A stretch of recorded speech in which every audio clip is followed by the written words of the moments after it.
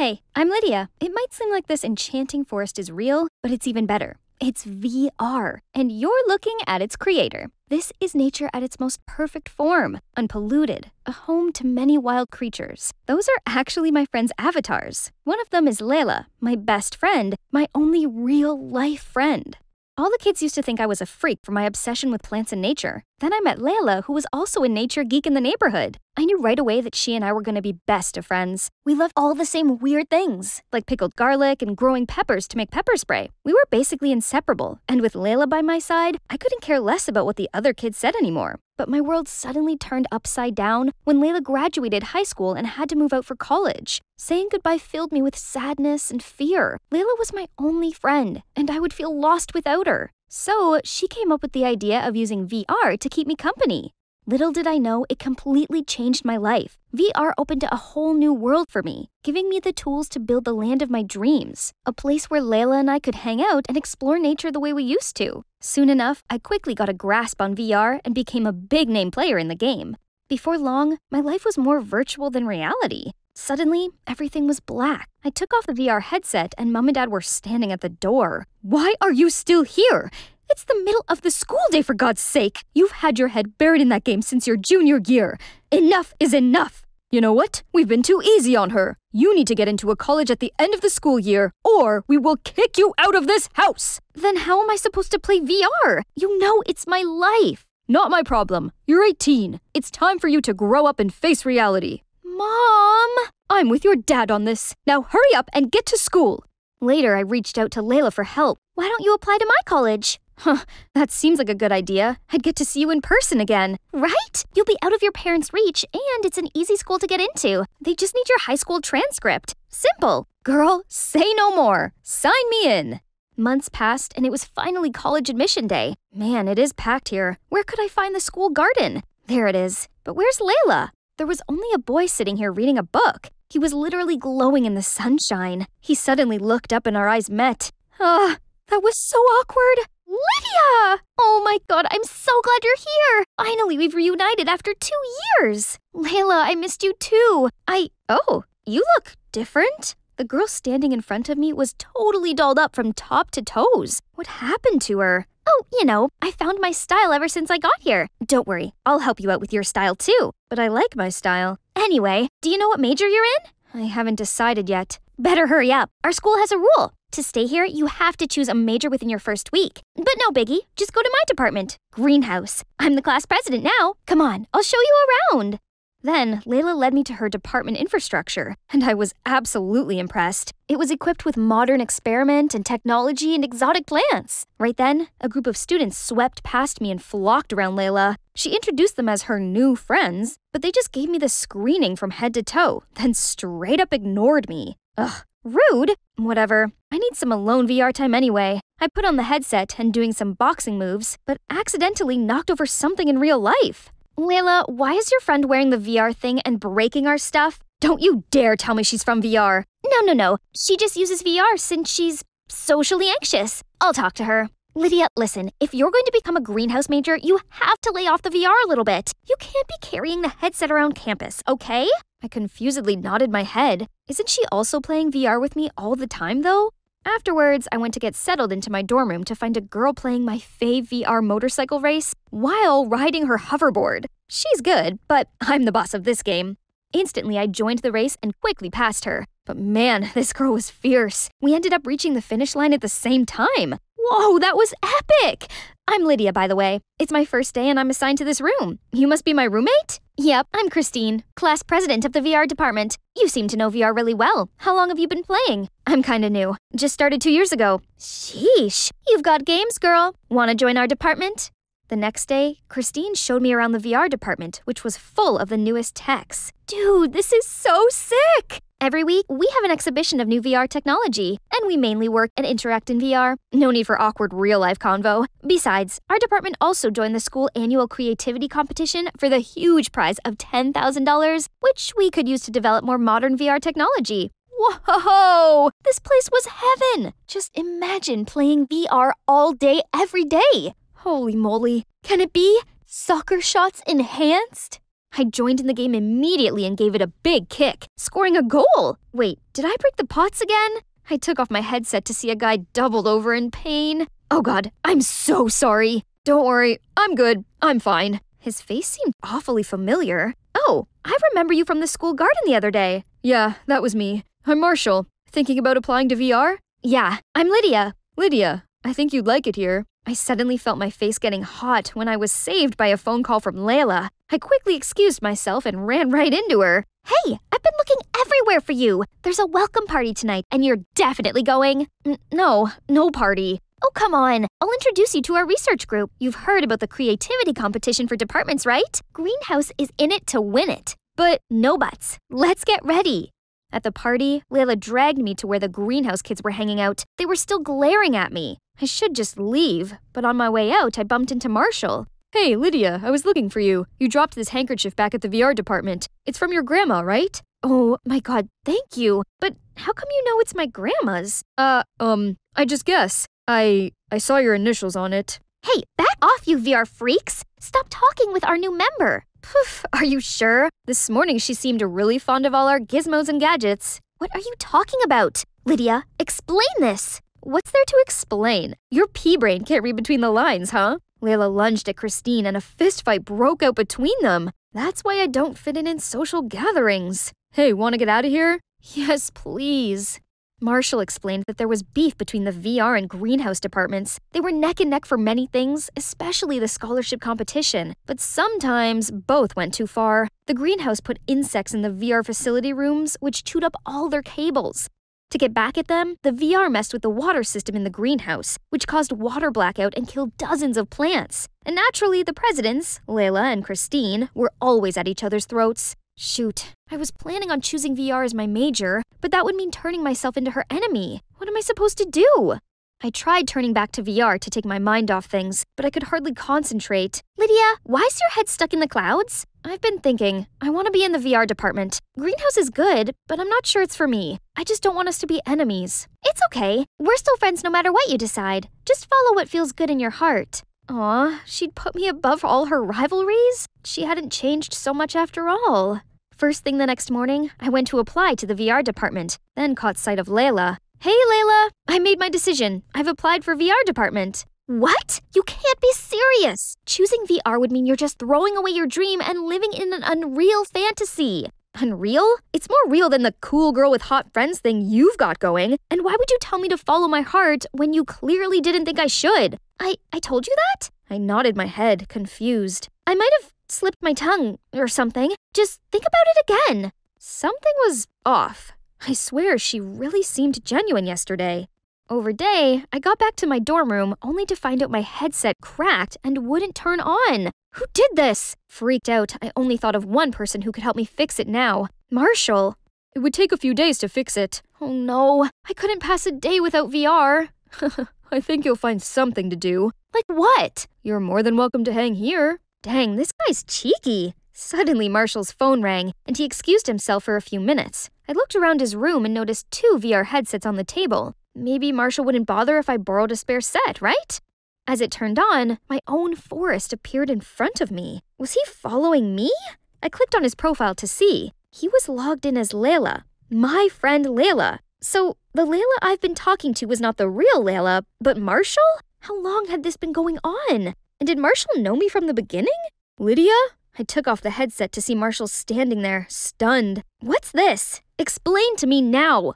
It all started when I got my department's pricey drone stuck on the roof of the greenhouse building. Layla was up there, so I begged her to give it back to me. She only agreed under one condition that I had to use her VR account to play with you, without telling you that. At first, I only did it as part of the deal, but after a while, I find her the funniest, smartest, and most creative girl, and I couldn't help but spending time with you. You're telling me that this whole year I've been talking to someone I thought was my best friend, but it was actually just some random guy, and you have the nerve to keep lying to me? Marshall, give me my VR and stop hovering around Lydia or she's gonna find out. She already did. Lydia, I can explain. Was it because of the stupid rivalry between Greenhouse and VR? What's so important about it that you had to lie to your best friend? You've changed, Layla, and I don't think you're my friend anymore. I stormed off, fighting back tears. I couldn't look at either of them any longer. When I got back to my dorm, Christine was already there. I asked her about my VR headset. I actually saw that Layla around our room earlier. She must have done it. That was a low move, Layla. But I was too fed up with her to even be mad. The greenhouse department could be trying to sabotage us again. Now, this is war. I'm going to gather everyone so we can plan our counterattack. Whatever, this rivalry thing is ridiculous anyway.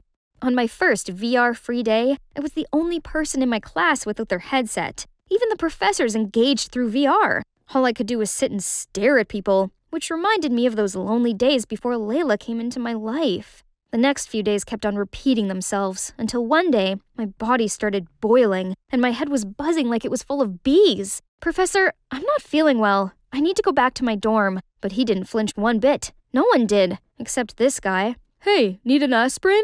He extended out his hand, but there was nothing there. A virtual pill? Seriously? No, it doesn't work. Oh, man, bummer. I tried getting up, but my body grew heavy and weak. I kept calling Christine across the room, but no use. If only Layla was here to help me right now. No, Lydia, you can do this on your own. I leaned on the wall to prop myself up slowly, made my way back to the dorm. I was so close, but my knees trembled and I collapsed. Just then, someone came to scoop me into their arms and picked me up. I woke up in a bad headache to see Marshall cooling it down with a damp towel. Hey, you're awake. Here, have some soup and take some medicine. What are you doing here? I came to return your VR but saw you collapsing, so then I helped you into bed. I know you don't want to talk to me right now, but this was urgent, so. Thank you, Marshall. I threw myself into his arms and burst into tears. I thought no one was gonna help me. He wrapped his arms around me, and I finally felt safe.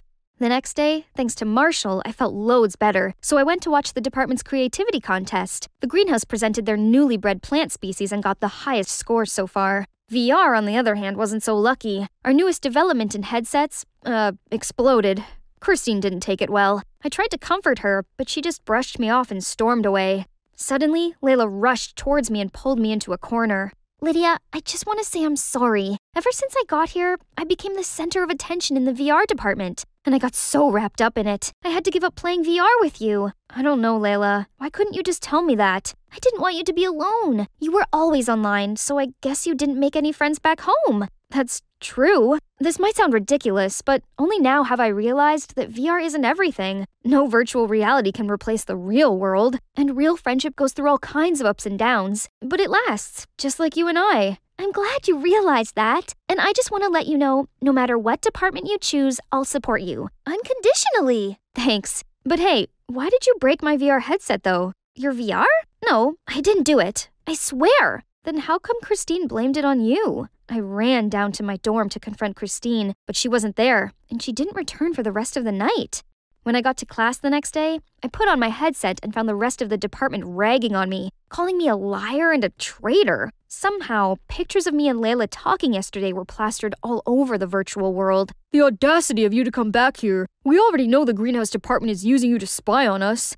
It was you who messed with our invention at the department contest. Otherwise, how could it explode? They started booing and surrounding me, so I ran for my life until a hand grabbed mine. You could run for real, you know. Ah, yes, at least I'm not the only one virtually running. We made it to the building's entrance, just as the greenhouse student dragging Christine towards us, and the VR students caught up with us. Layla, what's going on? We caught this girl starting a fire in our greenhouse lab with her hoverboard, then tried to flee the scene. What? Why would you do that? It's not on purpose, okay? Then tell us the truth. Now. Fine. So, a day before the department's competition, I secretly made an adjustment to the VR model, but somehow it caused an error and we ended up losing the prize. I was so mad that I decided to take it out on this greenhouse bunch. Last night, I snuck into your lab trying to take away all of your research, but suddenly, my hoverboard overheated and exploded, causing a fire to spread everywhere. I freaked out and left. You know the rest. Yeah, thanks to you, our lab was burned to the ground. You're lucky no one got hurt. And you had the nerve to blame Lydia for losing the contest. I had to, otherwise, the entire department is on to me. Oh, not just the VR department. Now everyone was furious at this crazy manipulative witch. What about my VR headset? Did you break it too? Well, that's just a little trick to get you and Layla to fight. You do belong to VR department after all. That means no making friends with Greenhouse. Right, guys? Guys? You've gone too far this time, Christine. And this rivalry thing is ridiculous anyway. Look where it got you. The VR students couldn't have agreed more. They immediately voted to impeach Christine from her class president role before turning her into the administration. They then apologized on Christine's behalf and offered to help the greenhouse rebuild their lab. Of course, Layla and the greenhouse department agreed. It looked like the start of a beautiful partnership. Within a few months, in collaboration with the VR department, the greenhouse was completely remodeled and renovated. No one even cared to mention the feud between the two departments anymore. And guess what? I applied for a second major in greenhouse. Double majoring was tough, but I had the support of Layla and Marshall and our friends in both departments. Speaking of Marshall, he wanted to take me somewhere special in the real world. He covered my eyes and led me there. Now you can look. I could have sworn I was in the VR world, but I wasn't. I could feel and smell the flowers, the soft grass, and Marshall's warm hand holding mine. Lydia, I've been wanting to tell you this for a long time. I don't want to be your virtual friend, or even a friend in real life. I wanted more, so would you like to be my girlfriend? Are you kidding me? Yes, yes, yes! Hi, I'm Aubrey, a super smart girl with an IQ of 200, and you should be ready for my mind-blowing story. Before I continue, please like and subscribe. I grew up in a small village in the countryside where people farm for a living. My family struggled to put food on the table, so I could only attend a monastery school. But since childhood, I've always been kind of different. The system is crashing. Please wait for a moment. The chicken is $15.55 minus 15%. Cereal is $2.49. Potatoes, laundry detergent. So the total comes to $64.85 with the discounts and tax included. Mom soon realized I was a gifted child, so she helped me skip some grades, and by the age of five, I was already doing secondary school math. I always topped my classes, and other students would bribe me with candies to ask for help with their homework. At the age of eight, I scored 760 on the SAT math and won the spelling bee competition. I became a phenomenon in the area, and reporters even gave me the Stanford Binet IQ test, which showed I had the same intelligence as a 22-year and 11-month-old person. My parents were super proud of me, especially my dad. Dad, they all gave me Lego and comics for rewards, as if I was an eight-year-old. Yeah, yeah, they're wrong. You're eight years and five months old already, little lady. He was the only one who could spark interesting conversations with me. That is, until he fell terribly ill.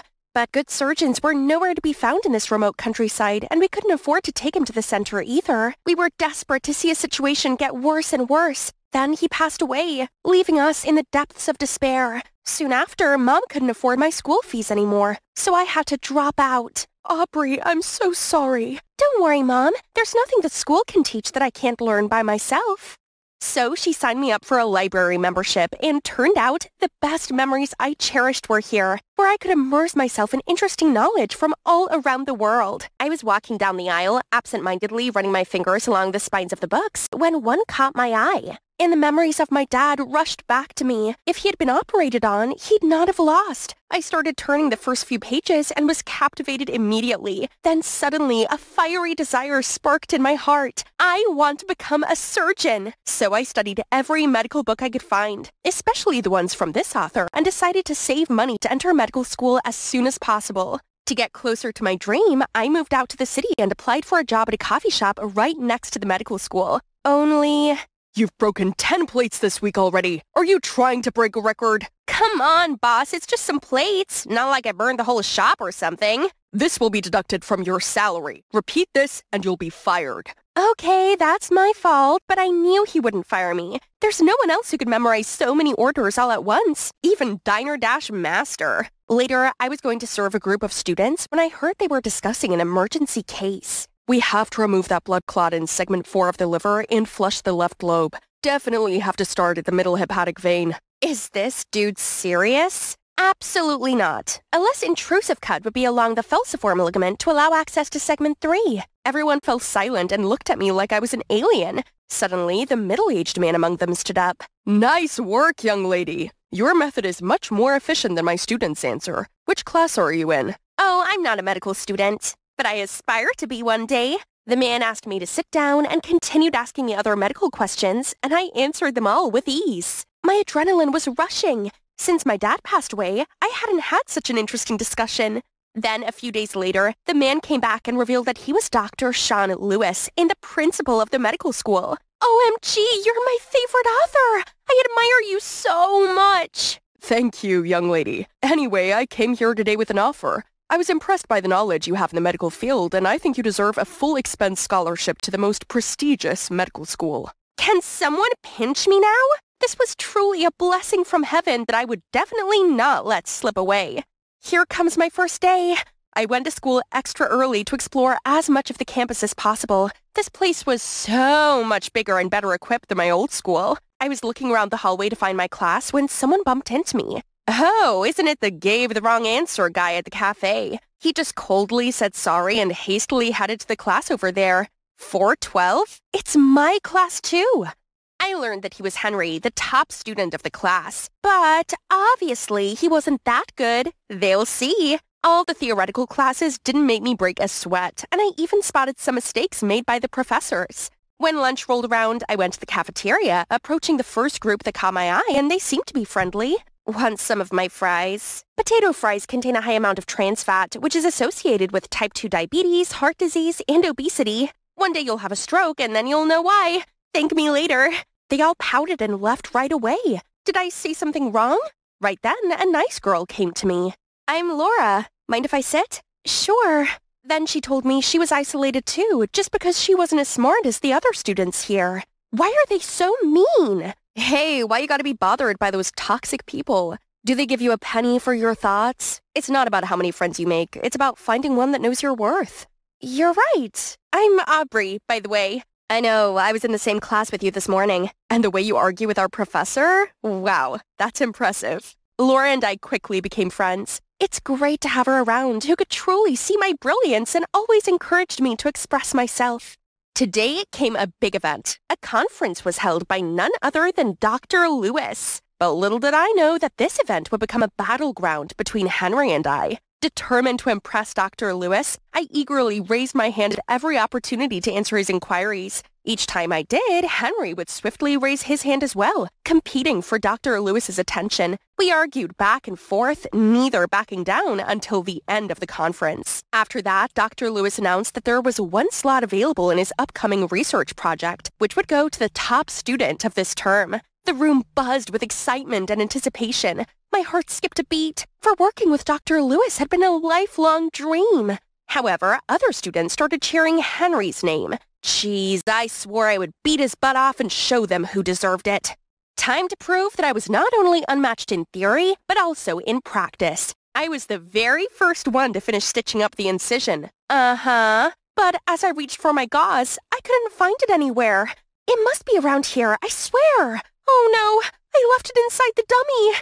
Okay, this time must be better. How hard could it be to use this defibrillator? But then I accidentally touched the metal pad and got shocked and fell backward. I kept trying in many other practice sessions, but that sucked. Ah, Aubrey, this cast looks exactly like a chicken thigh. Do it again. But the most annoying thing was that Henry excelled in all of them and other students started mocking me. After that, I went outside for some fresh air and deep down, I was so disappointed in myself for all my failures. Suddenly, a hand gently patted my shoulder. It was Laura. I couldn't help but hug her and start sobbing. Laura, what if I was wrong about myself? I failed at everything and people started humiliating me. Oh, they just envy you. Nobody can beat your academic scores. That's why they gloated at your failure in practice. But that big brain of yours is what matters the most, right? Yeah? And an opportunity is coming your way. There's an intelligence contest next week. If you win, everyone will have to recognize that you're the best, including Henry. Talk about Laura, my savior. I'll try my best. Just wait and see. A few days later, Laura took me to the library in a private study room. She helped me set up my laptop and left me alone so I could focus. Good luck! I participated in an online oral contest over Skype. There was a panel of judges who asked questions, and all I had to do was answer them verbally. Easy peasy. Now I just need to wait for the results. The next day, I went to school as usual, but then suddenly was called to the principal's office. Dr. Lewis might have known about that competition and saw my name on the top list. I was about to brag about my performance when he accused me of helping other students cheat on their exam. Then he showed me a voice recording of me answering the questions. Wasn't that for the intelligence contest? But Laura said, Dr. Lewis, just wait. I can explain. I frantically called Laura, but she refused to pick up. Enough! I'm so disappointed in you. You're expelled from this moment. Feeling lost and crushed, I trudged myself to a bench in the schoolyard. Hey, are you okay? Okay? You're mocking me? Now that project slot is yours. Happy much? Get out of my sight, now! Suddenly a stack of papers fell onto my lap. You might need this. Good luck. I believe you're not a cheater. I confusedly flipped through those papers to see that these were all of Henry's notes from the semester for practice lessons, which could not be found in normal textbooks or lectures. I kept on turning to the last page and saw a scribble. Know your worth. Something awakened inside me, so I swallowed my pride and ran after Henry. Hey, wait! I- I've been wrong about you the whole time. I'm sorry. Don't be. It's my fault to act competitively too. I had no bad intentions. It was just the motivation for me to study harder. I swear. But it's a pity if the medical industry loses someone like you. Um, well, I'm not so sure anymore. I'm used to doing everything so quickly and I can't be patient, which probably explains my clumsiness. That I can help with. Genius is 1% talent and 99% hard work, you know. Since then, I often went to Henry's house to practice. We studied together and he taught me many tips to stay calm, patient, and focused. And turns out, he's also quite the adorable type. Here you go. Thank you, doctor. This is the best stitch I've ever had. One day, I ran into Laura at a gas station. She tried to hide, but I ran straight there to catch her. How could you trick me like that and just disappear like nothing happened? I'm so sorry, Aubrey. I was so blind and just wanted to help those who are bad at studying like me. I never expected it to be that serious and you'd get expelled. And now, why are you here? It's just the medical profession was not my thing, so I quit. But Aubrey, please forgive me. I'm really ashamed of what I did, and you were the only one who had truly been kind to me. Only when you set things straight and confess everything to Dr. Lewis. But even so, there isn't a likely chance we'll be friends again. So the next day, Henry took Laura and I to see Dr. Lewis. Aubrey, Laura, what are you both doing here? Dr. Lewis, I. I was the one behind the cheating case. Aubrey had no idea and didn't deserve to be punished for my fault. I've been practicing a lot too, sir. Look at these. I've been so careful with every single one. Aubrey has also helped me a lot on our project. I hope you can forgive her and grant her another chance. Dr. Lewis looked quite satisfied, but then he suddenly turned pensive and shook his head. Medical school is not where people can freely join and leave. A doctor needs an extra sharp mind and can be fooled as easily as you were. I'm sorry, Aubrey, but you're not qualified. My heart sank to my toes, and I locked myself inside my apartment for the next couple of days.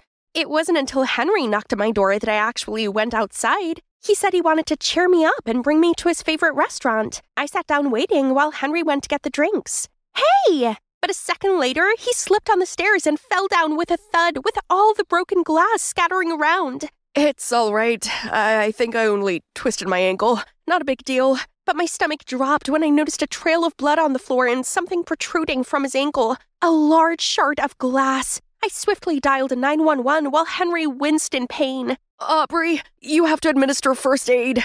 Oh, right. I called for the restaurant staff to get the first aid kit, but it was clear that the situation was dire. Henry's face grew pale as blood continued to trickle from the wound. I held the wound closed to stop the blood, but my heart felt weak. I couldn't bear to see him suffer. You trust me, Henry? What do you mean? yes? So I immediately pulled out the toolkit that I brought around in my purse. Henry bit down on the tablecloth beside us, and I started the procedure. I maintained a steady stream of chatter, trying to distract him from the pain, but it wasn't helping. What doesn't kill you makes you stronger. What? Just to distract myself from the pain. Okay, go ahead. Stand a little taller. And done. When I looked up, there was a crowd cheering in awe and admiration. Guys, I caught the whole thing live. The video of the incident quickly went viral. That night, I tossed and turned in bed, unable to contain my excitement. I saved a human life! Reading the comments of the video filled me with a renewed sense of motivation to pursue my dream. The following morning, I was jolted awake by a notification on my phone. It was an email from Dr. Lewis himself. I headed to Dr. Lewis's office, and to my surprise, he told me he saw the video and gently said, Aubrey, I was once like you, arrogant and overly reliant on my natural intelligence. Then, a mistaken surgery left me with regret that I will carry with me for the rest of my life. However, after watching the video, I'm glad that you changed. I saw your humility and eagerness to learn, so I'll give you another chance. So here I am. You have no idea how much I miss this hallway. Welcome back. How's your ankle doing? Much better, thanks to you. How about a celebration dinner tonight? Sounds great, but promise you won't need me to operate on you again. I was scared to death. Ahead of me still lay a long road, but I believe the day I become a skilled surgeon is closer than ever. And soon I can perform more life saving surgeries for the less fortunate. Dad, I will make you proud.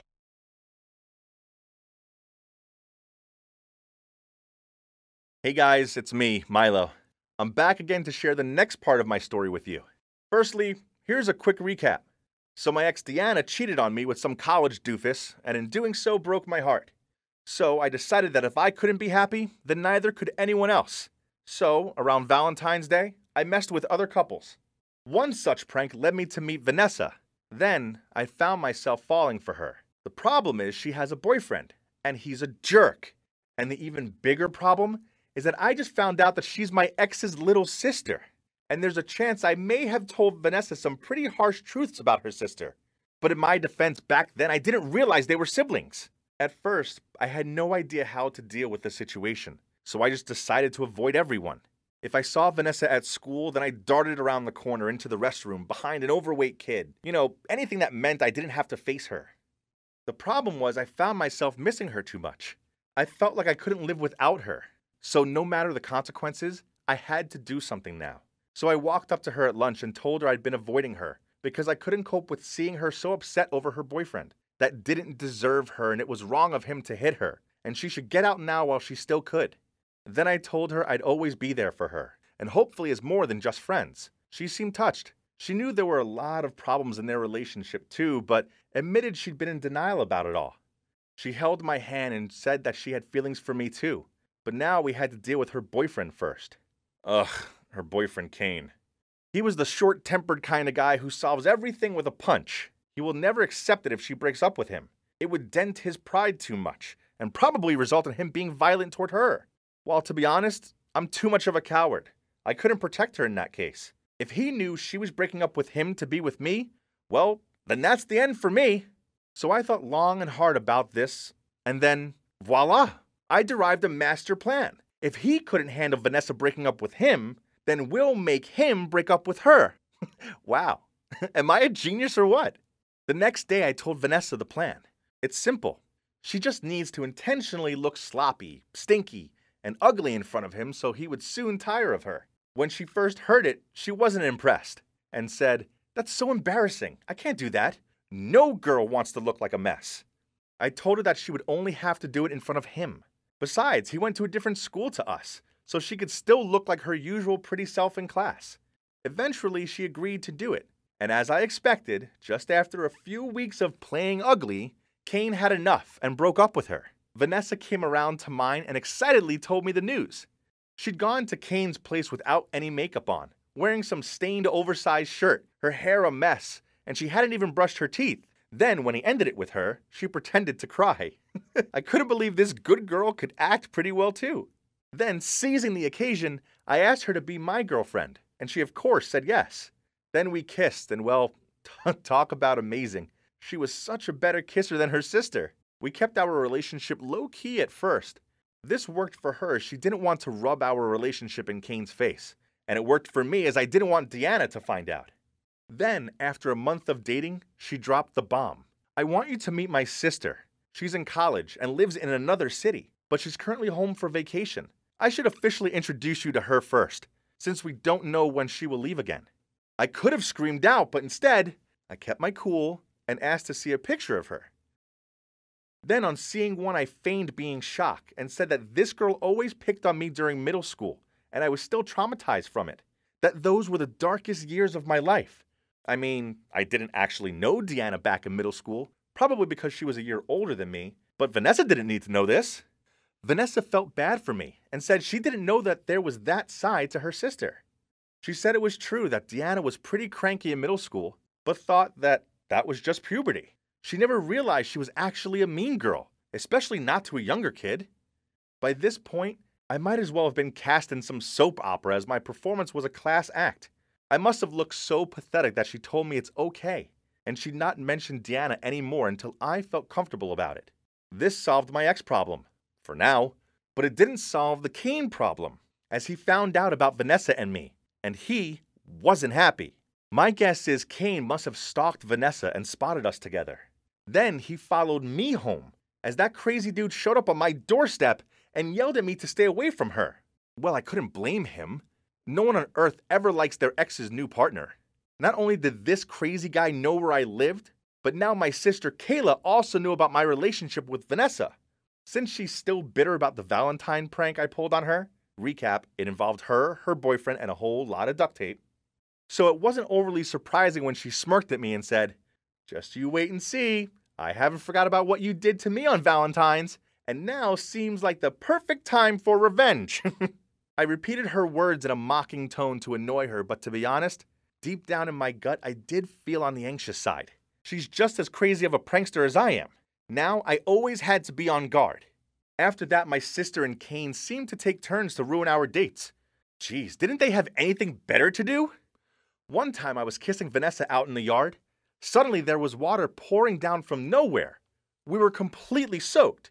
I looked around and saw my sister standing on the second floor balcony, holding an empty bucket, and said, Oops, I was just trying to water the flowers. Then, on a movie date night, Kane showed up at the same film, sat in the row behind us, and kept on kicking the back of my seat, and even threw popcorn at me. Later, when I went home and checked the hood of my hoodie, there were all kinds of trash and enough popcorn for the next movie date. How childish! It was all trivial stuff, really, but it was getting annoying. Then, on our two month anniversary, I told Vanessa to dress up all nice, then I took her to the swanky Italian restaurant. The meal was amazing until when I reached into my pocket and took out my wallet to pay. Then, to my horror, a picture of a bikini wearing girl fell out of nowhere. I was so shocked and just froze in confusion. Vanessa looked so upset. I explained that I'd never seen that picture before in my life, and I had no idea who the girl was. Then the waiter showed up with the card machine. I clumsily opened my wallet, but none of my cards were there. I searched my pockets again in panic, but nothing, not even a penny bright red, I muttered out that I had no money on me. This was the worst moment of my life. I thought I was going to lose my girlfriend and have to pot wash. But then I heard arguing coming from outside. Me, Vanessa, and the waiter all stared out the window and saw my sister and Kane yelling at each other. We stepped outside and listened in on their conversation. Turns out my sister had taken all the cards out of my wallet so I wouldn't be able to pay. She's been peeking in from the window all night long and spying on us, just to wait and see my pathetic face as I found out that all of my cards have vanished into thin air. But then she was disappointed that it didn't go to plan because I was busy explaining to Vanessa about some stupid photo instead. That's when she met eyes with some crazy guy who was standing next to her and laughing his ass off in satisfaction, which you can already tell who he was the mastermind of that bikini photo prank.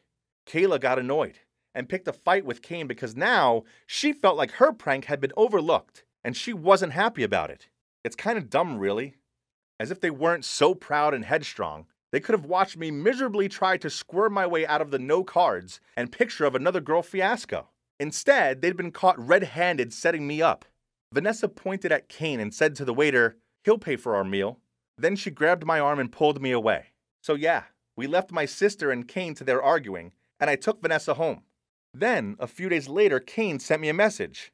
It's amazing what delving into your past can bring up. I know all about you and Deanna. Set me up on a date with your sister, or else I'll tell Vanessa everything. Dang it. Who would have thought after that stupid incident that crazy Kane guy would catch feelings for my evil little sister? In hot sweats, I replied that my sister already had a boyfriend. Unsurprisingly, Kane didn't care about this factor. He told me a time and a place and said my sister better be there, else he wouldn't just tell Vanessa about Deanna. He'd also 100% ruin my life. OMG, what am I supposed to do now? Do I really have to set up a date for my little sister with a crazy guy like Kane? Oh well, she's not really sane either, but she's still my sister. But if I don't agree to help him, then who knows what could happen to me tomorrow? I mean, I don't want Vanessa to find out about Deanna. And I also don't want to end up a beaten up mess. I'm so torn. This is killing me. Have any of you ever worn braces before? If you have, I feel for you. I really hope your experience was better than mine. I thought braces would make my life so much better, but oh boy, was I wrong. It all started because of how ugly my teeth were. They were short and had such big gaps between them. My friends sometimes made jokes about them, and it really hurt my feelings, but I tried to hide how I felt and laugh along with them. Because my parents worked away all the time, I lived with my grandparents in New Jersey, and they never thought there was any problem with my teeth. They said they'd grow as I got older, but honestly, I couldn't handle the teasing anymore. Eventually, I decided to take matters into my own hands. Every time my parents sent me pocket money, I'd save every cent. By my senior year of middle school, I'd finally saved up enough money, and so I went to the dentist and asked him for braces. My dentist said I need to wear them for about two years, and I thought that wouldn't be such a big deal, right? I mean, a few of my friends had braces too, and they still looked pretty, but unfortunately, that wasn't the case for me.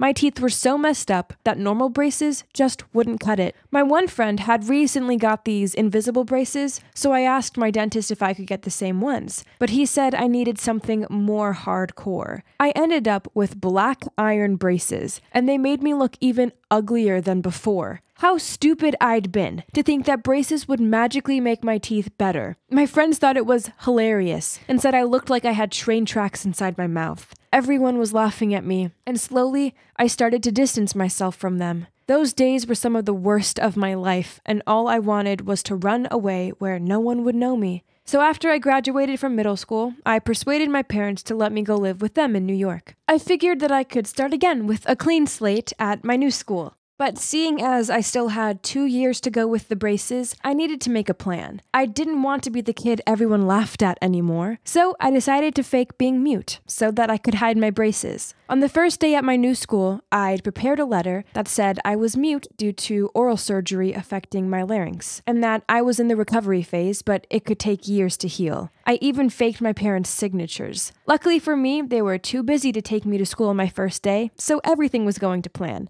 I thought someone might be at least a little suspicious, but no one asked me about it. And even the teachers gave me sympathy and said everything would be okay, and I'd still do well in my classes. I couldn't believe it. I knew I had to be careful though. So I separated myself from the other kids so they wouldn't try and talk to me. I didn't even eat lunch in the cafeteria because I was too afraid people would see how embarrassing I looked when I ate. I seriously had to open my mouth wide and chew super carefully, and afterwards there was always chunks of food stuck in my braces. But ugly teeth aside, I actually wasn't bad looking. In fact, thanks to the braces, I'd lost 10 kilograms. So my body was looking quite good. If I didn't open my mouth, I was kind of pretty. And because I kept myself separate from everyone, there was an air of mystery about me. After a week or so, a few guys started approaching me, trying to flirt with me, but I just ignored them. I knew if I opened my mouth, it would be game over. I could see they thought I was a bit of a diva, but it was better than revealing my ugly secret.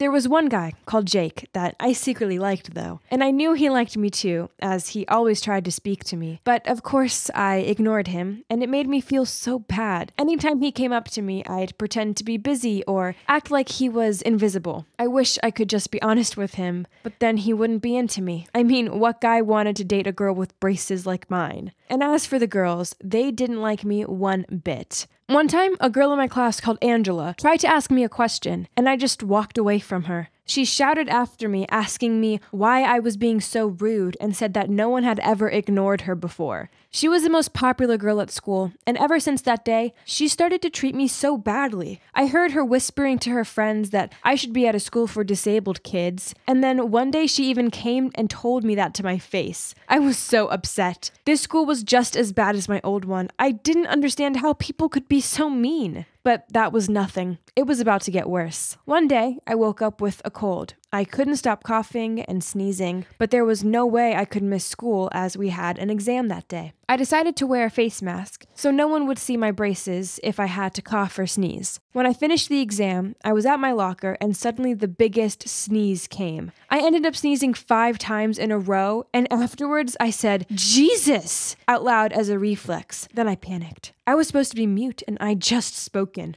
What if someone heard me? Well, someone did. I turned around and Angela was standing there with her friends. They were looking at me in shock, and Angela said, I thought you couldn't speak, hmm? Then she walked towards me and reached out to pull my mask off. Suddenly, Jake appeared and stopped her. He told her to back off, and then he stood there protecting me. No one had done something so nice for me in years. That's when Jake and I started hanging out. We would go to the library, for walks in the forest, and even play piano together. I used a small notebook to write down whatever I wanted to say to him, and of course I just smiled, never laughed when I was with him, but then one day he leaned in to kiss me, and the worst thing ever happened. The thought of his lips touching the metal braces in my mouth made me disgusted with myself. So when his lips touched mine, I got such a fright I basically had butted him and when I realized what a stupid thing I was doing, blood was pouring out of his nose. Both of us frantically tried to stop the bleeding. I felt so ashamed of what I'd done that I had to try so hard not to cry in front of him, and he also blushed shyly. After that, it was hard to fully relax with him. Even though I liked him so much, I was so afraid that he'd catch a glimpse of my monster teeth and then break up with me. Little did I know what was just around the corner. One morning, I was walking to my locker when I realized everyone was staring at me. I felt so self conscious and didn't understand why they were all looking at me. And then I saw it. Plastered across my locker were tons of photos of me, and they were all of me from middle school, from when I hadn't worn braces to when I had it full of my mouth. They were the worst photos ever. I was ugly and fat in them, and I couldn't believe someone could be so cruel. As I stood there in shock, Angela walked up to me and said, You're a liar, a monster pretending to be a mute little princess. Well, the truth is out now. Then she turned to everyone watching us and told them I really could speak. Turns out her cousin was in my old middle school. They'd been hanging out, and she told Angela that I wasn't mute and hadn't had any surgery and that I just had ugly teeth. When she triumphantly walked past me, my anger flared up, and for a moment I lost control. I rushed in and pushed her down the hallway. Then I jumped in to sit on her back and started pulling her hair. And then I saw blood, and that's the moment when I realized I'd taken it too far. Her front teeth had broken when she'd fallen. Everyone was taking photos. I was sitting on Angela's back, holding her hair, and my mouth was wide open, revealing hideous braces. Jake was also present in the crowd and looked at me in awe. I don't know if it was me or Angela who was more humiliating in this situation. After that, Angela had to wear big black iron braces just like me. The dentist said there were problems with her root canal, so she couldn't have implants. The only solution was wearing braces and hoping that her other teeth would move and fill the gaps. And my parents had to come to the school and apologize. And of course, I was suspended for what I did, not just for pushing Angela, but also the fact I forged my parents' signature. Jake never spoke to me again, which broke my heart. But what hurt even more was what happened a few weeks later. I found out Jake and Angela started dating. I couldn't believe it. I knew Angela was only doing it to get back at me, but it made me wonder did that mean Jake didn't find girls with braces ugly? Why did I hide mine then? And there's one thing I still want to know how do they kiss when Angela has a mouthful of braces? Hey guys, Ellie here, again. I'm going to share with you the final part of my story, and trust me, you won't want to miss it. In part two of my story, my revenge plan really got underway. Brian went to New York to work for three months, and I managed to seduce Clark. Now we're dating, and I almost have all the info I need to make Sasha's company crash. But after an amazing day out with Clark, I came home, and you will not believe what was waiting for me. Brian was there. He was sitting in my living room, and he looked so angry. He'd flown home that afternoon and couldn't wait to spend that weekend with me. But when he arrived at my house to surprise me, I wasn't there. He was about to call me to ask where I was when he received a photo from his friend. It was of me and Clark. Turns out his friend had seen us sharing a picnic by the Golden Gate Bridge and had sneakily taken a photo of us kissing each other and sent it to Brian. And he was mad. He started shouting at me, saying, How could you cheat on me like this? He looked heartbroken, and all I could do was cry. I couldn't even explain myself because the truth was much worse. If he knew it was just to hurt his mom, he'd never forgive me. In the end, he stormed out, leaving me there crying. But I had to be strong. I had to focus on my revenge. I didn't have time to sit and cry over Brian. For now, I'd have to put him to the side and try not to think about him. When Monday rolled around, I was exhausted. I'd barely slept the whole weekend and couldn't bear going to work. But I had no choice. The day dragged by, and by the time 5 p.m. rolled around, I waited until everyone left, and then I went to Clark's office. I gave him a hug, and he started massaging my neck and said, Baby, you look so tired. What's up? I replied, saying, No, I'm good. In fact, I'm much better now that I've seen you, although I wouldn't say no to a cup of coffee. Of course, Clark happily went and made me one, and as soon as he was out of the room, I ran to his desk and started rummaging around looking for the documents. But I couldn't find them anywhere. Had he put them in a drawer? I quickly checked, but while I was doing that, Clark walked back into the room. Ellie, what are you doing? I got the fright of my life and stood up saying, Um, nothing, just helping you tidy up your desk. It's such a mess. At that moment, my phone suddenly beeped. I went to grab it, but Clark got to it first. Oh no. Suddenly, his face changed as he read my text. Then he said, What's going on, Ellie? You better explain yourself quick. He handed me my phone back, and I couldn't believe it. It was my old colleague Amy asking if I'd got the last document yet to show how the app was put together. I felt so sick, and I knew I couldn't lie anymore. I looked back up at Clark, and in tears I told him everything. Clark, I know you're probably going to hate me after I tell you this, and I don't blame you, but please just hear me out. Sasha is a nasty woman. She was actually my dad's mistress when I was a kid, and she tore apart my family. I'm so sorry, Clark, but I'm actually engaged to Brian, Sasha's son. I only took this job because I wanted to find a chance to ruin her business and life as soon as I saw Sasha was interested in you, I decided to try and get you to like me, so that I can let her know what it's like when she loses someone she loves. Then, by using you, I'd take all the confidential info to. to. Ugh! I'm so sorry, Clark! By the time I'd finished telling him, I was crying so much I could barely breathe, and I knew Clark would be deeply upset. But instead, something crazy happened. He came over and hugged me. He told me to calm down, and then he said, Revenge is pointless, Ellie. It doesn't do anyone any good, especially not you. I know Sasha hurt you, but you need to let that go. It's in the past now. Sure, it might make you feel good right now, but in the long run, will you be any happier? I just cried even more then. Why was he still being so nice to me? I didn't deserve this. I kept apologizing, and he said he understood why I'd done it all, and that he forgave me. He said, I know you have a good heart in there. You just got a little lost. That's all. But promise me one thing please don't hand over the documents to your old company. Our company has worked so hard on this. Please don't do it, Ellie. Well, it was the least I could do after everything I'd done to him so far. I promised not to hand the documents over, and after I left Clark in the office, I realized something. I actually liked him, not just as a friend or colleague, but as something more. I had actual feelings for him, and now I'd gone and hurt him so much I felt awful. And there were still a couple of other things I had to deal with too. As soon as I got home, I called Brian, but he didn't answer. I knew I couldn't wait any longer, so I left him a voice message explaining everything. I ended the message by saying sorry, but I knew Brian would struggle to forgive me, and I didn't blame him.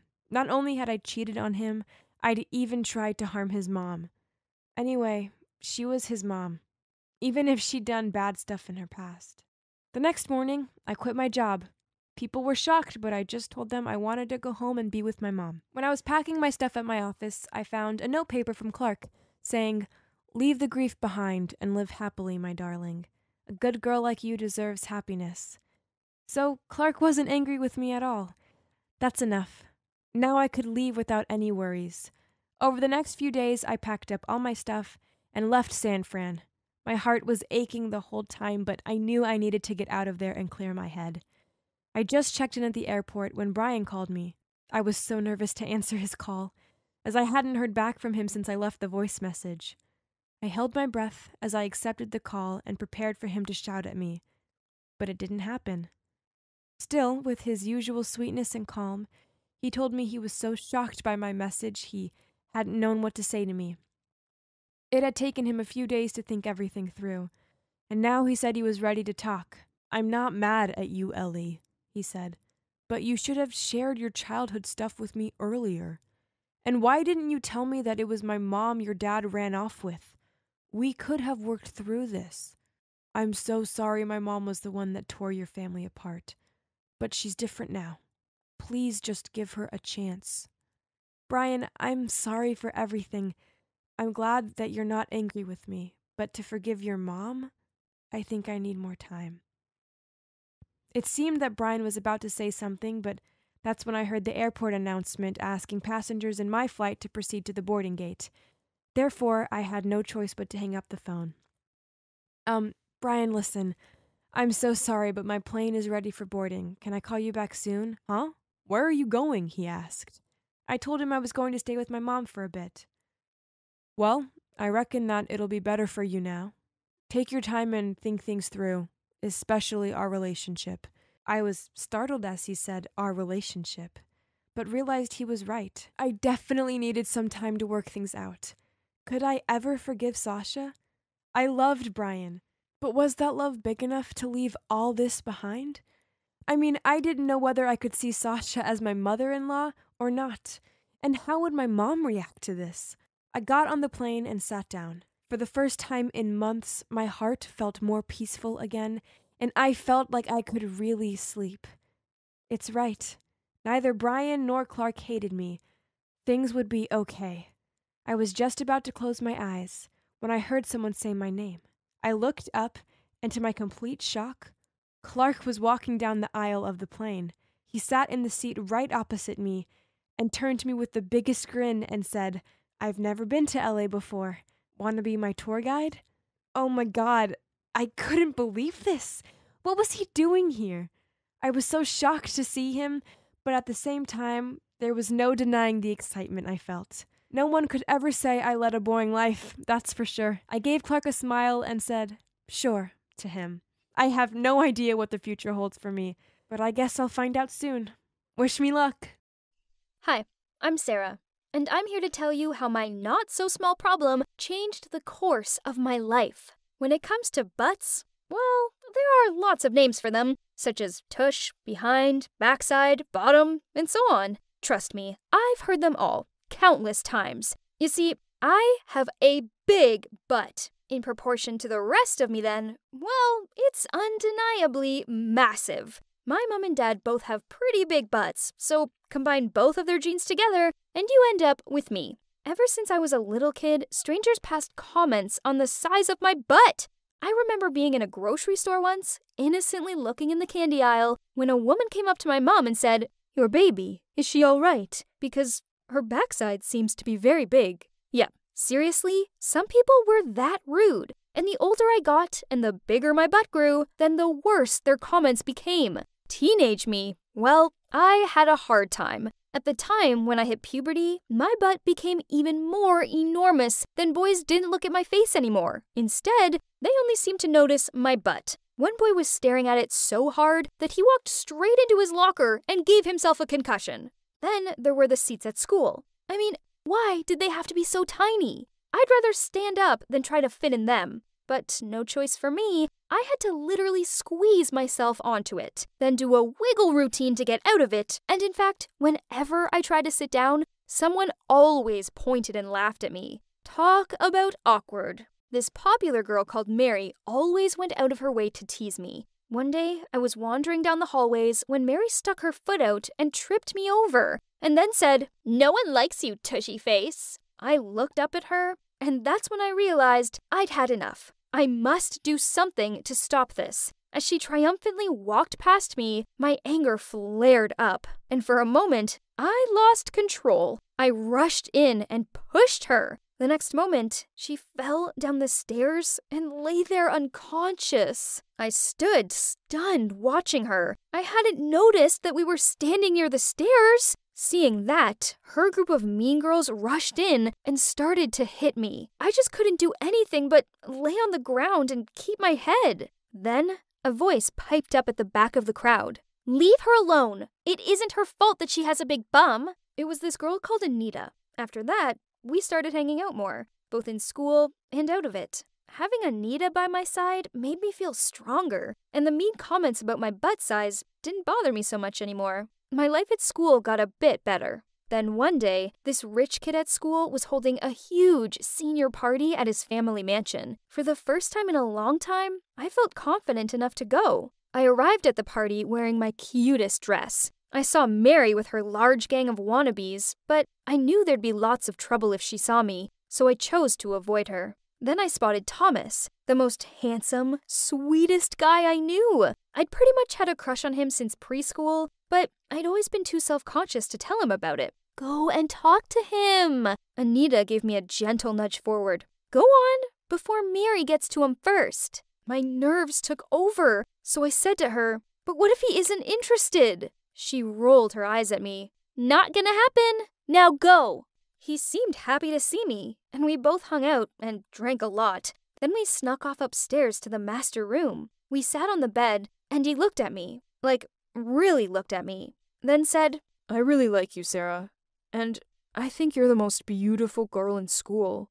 I blushed. This was the sweetest thing a boy had ever said to me. Then he leaned in and kissed me. OMG! Talk about amazing! We were passionately kissing when the door burst open and someone shouted, Why are you with her? It was a furious looking Mary. She continued yelling at us both and even tried to hit me, but Thomas protected me. Then he took my hand and led me out of the room. Mary continued to shout mean comments at me, but I didn't care. Thomas liked me, and she just needed to deal with it.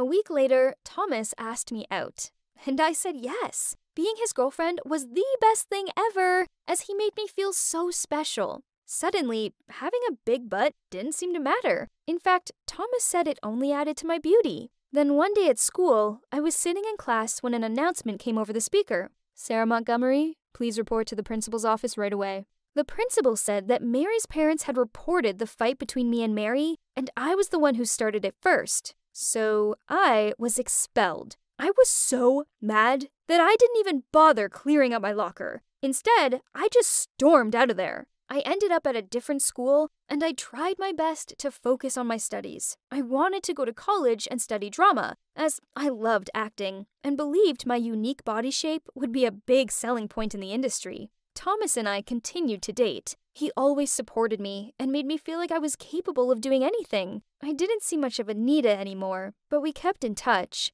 One day, I was studying in a cafe when a man came over to me, passed me his business card, and told me that with a butt like mine, I could make serious money modeling. So that's how I became a photo model. Turns out the man hadn't been lying about the money. Okay, so I wasn't an actress yet, but I earned loads. Finally, the part of my body I was so ashamed of made me super successful. I paid off all my college fees and gave my parents back all the money I'd loaned off them. A few months later, I was on a date with Thomas, and in the middle of dinner, he bent on one knee and pulled out a ring and said, Sarah, will you marry me and make me the happiest man alive? Overcome with joy, I shouted out, Yes, yes, yes, I will marry you! Finally, the day of our wedding arrived, and I was so excited. After everything I'd been through, I was finally going to marry my charming prince. I had the most amazing fairy tale dress and the perfect castle venue. Better still, Anita was there as my maid of honor. As I was dancing, I saw Jack, who was my drop dead gorgeous cousin, and he just came to join my wedding party. Anita had always been looking to meet him. I was so excited and decided that tonight was the perfect time for Anita to get access to him. I went looking for her, but she wasn't on the dance floor or by the bar, so I searched upstairs. I was about to open one of the doors when I heard a male voice coming from within. I'll try and get some money off her. Just give me a few weeks, okay? Then I heard a girl's voice say, But honey, we need the money now, and I don't like Sarah. She's more butt than person. Then the guy said, You know I don't love her. I only love you. I looked through the crack in the door and saw the two of them kissing. Then I registered who they both were. It was Thomas and Anita.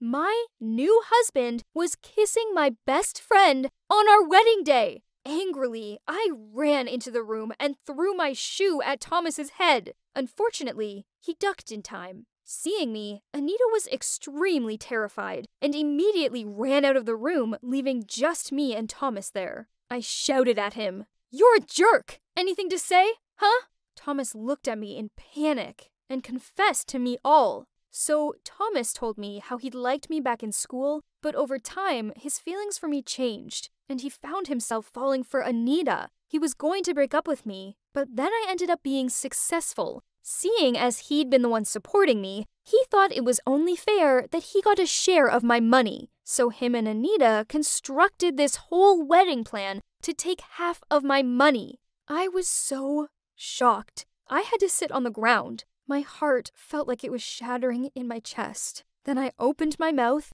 and screamed at the top of my voice. I ran out of that place crying, and the wedding was canceled.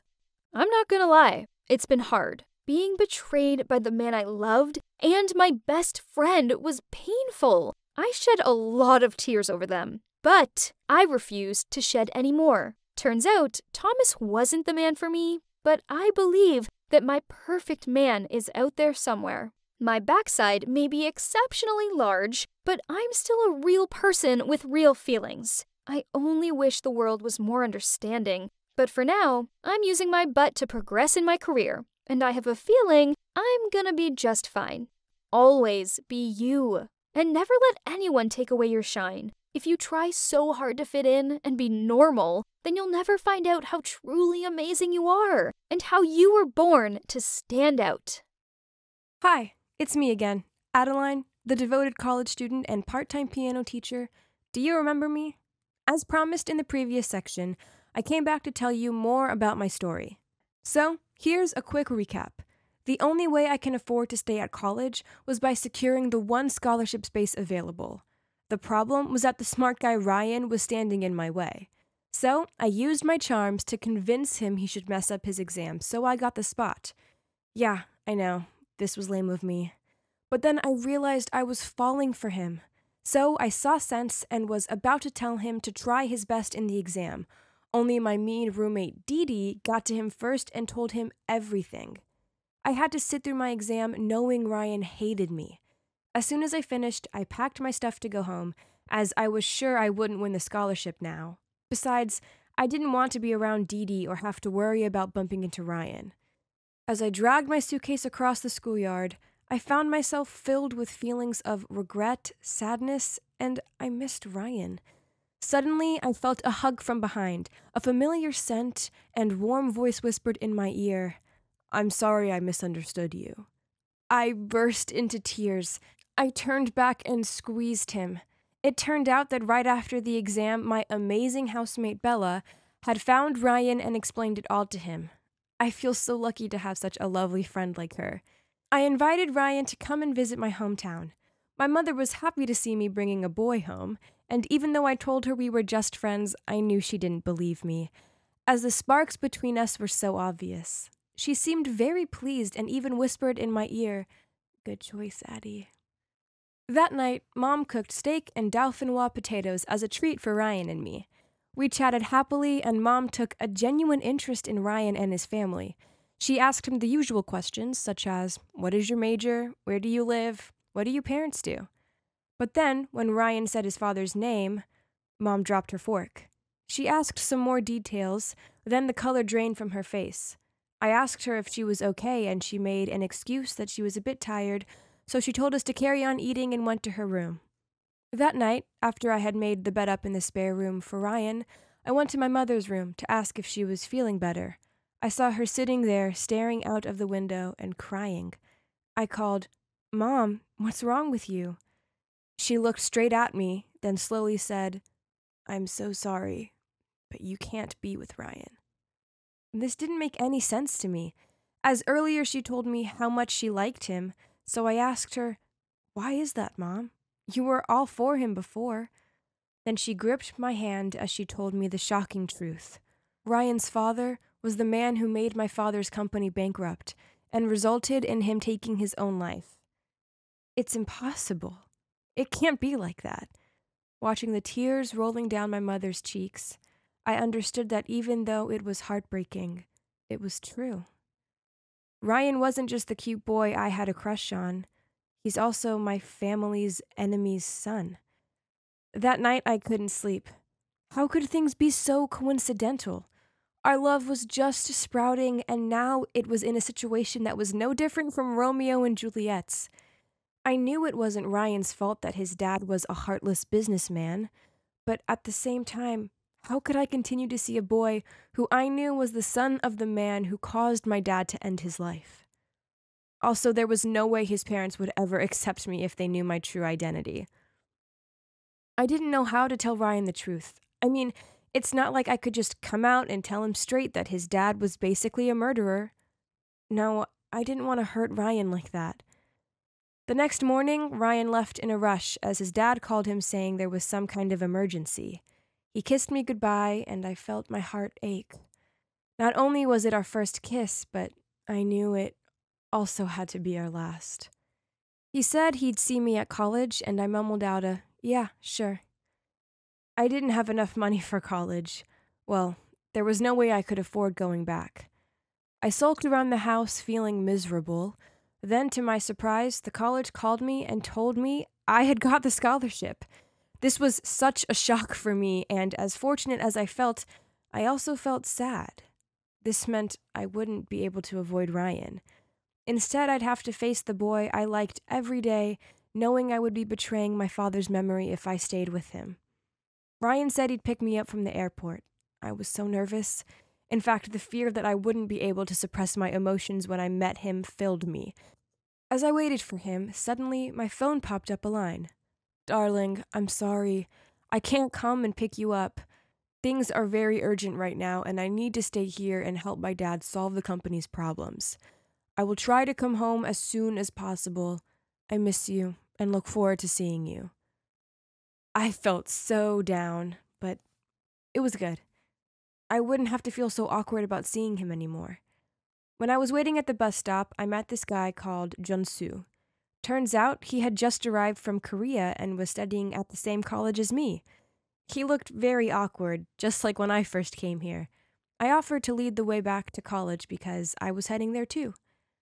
Two weeks later, and Ryan still hadn't returned to college, and I didn't receive any messages from him.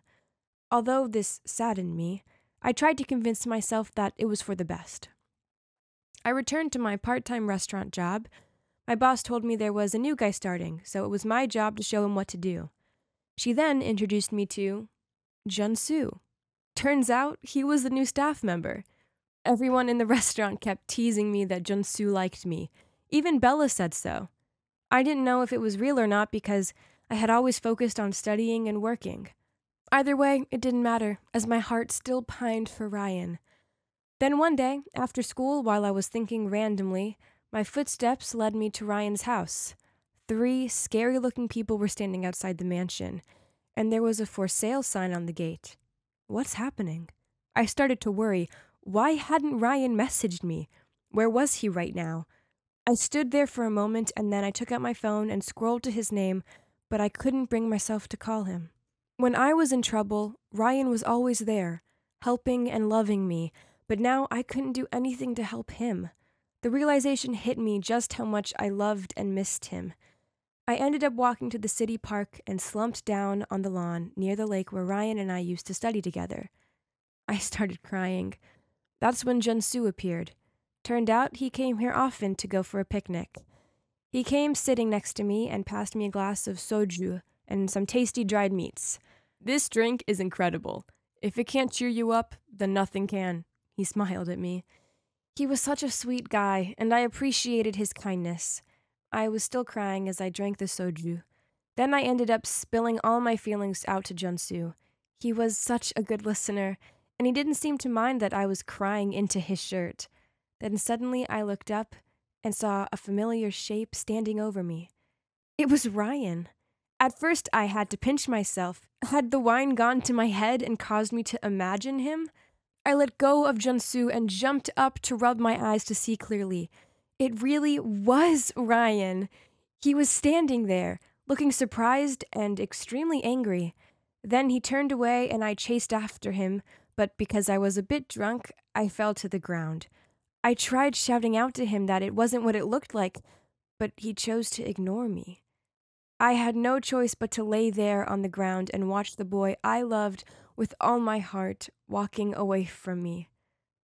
Right now, it all seems so complicated. Stay tuned for the final part in my saga. Trust me, you won't want to miss it.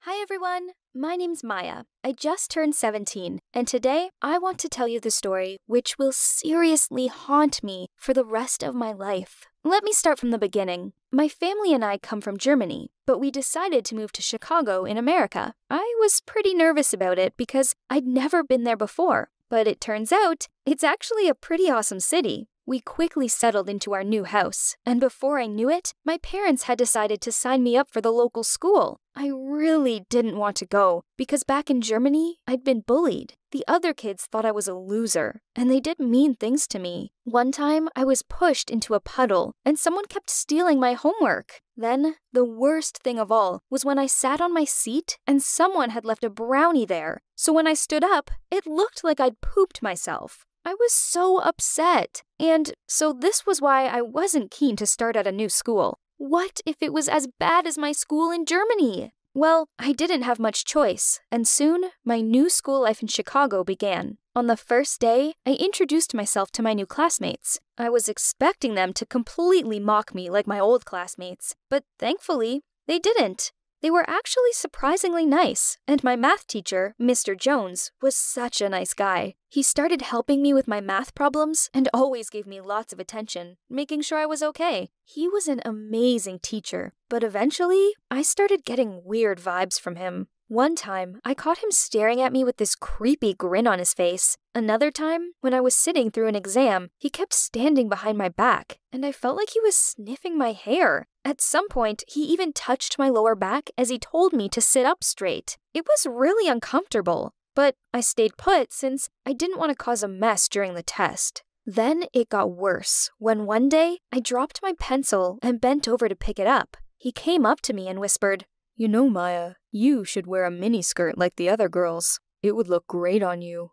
I mean, who would say something like that to their student? I didn't reply to him. I just grabbed my things and walked out. Luckily, class was over, and it was lunchtime, so I went straight to the canteen and tried to forget about what Mr. Jones had just said to me. But as soon as I sat down, three girls approached me, and one of them said, Beat it, new girl! This is our spot. I couldn't believe it. So I replied, No, sorry, I was here first. Find yourself another place to sit.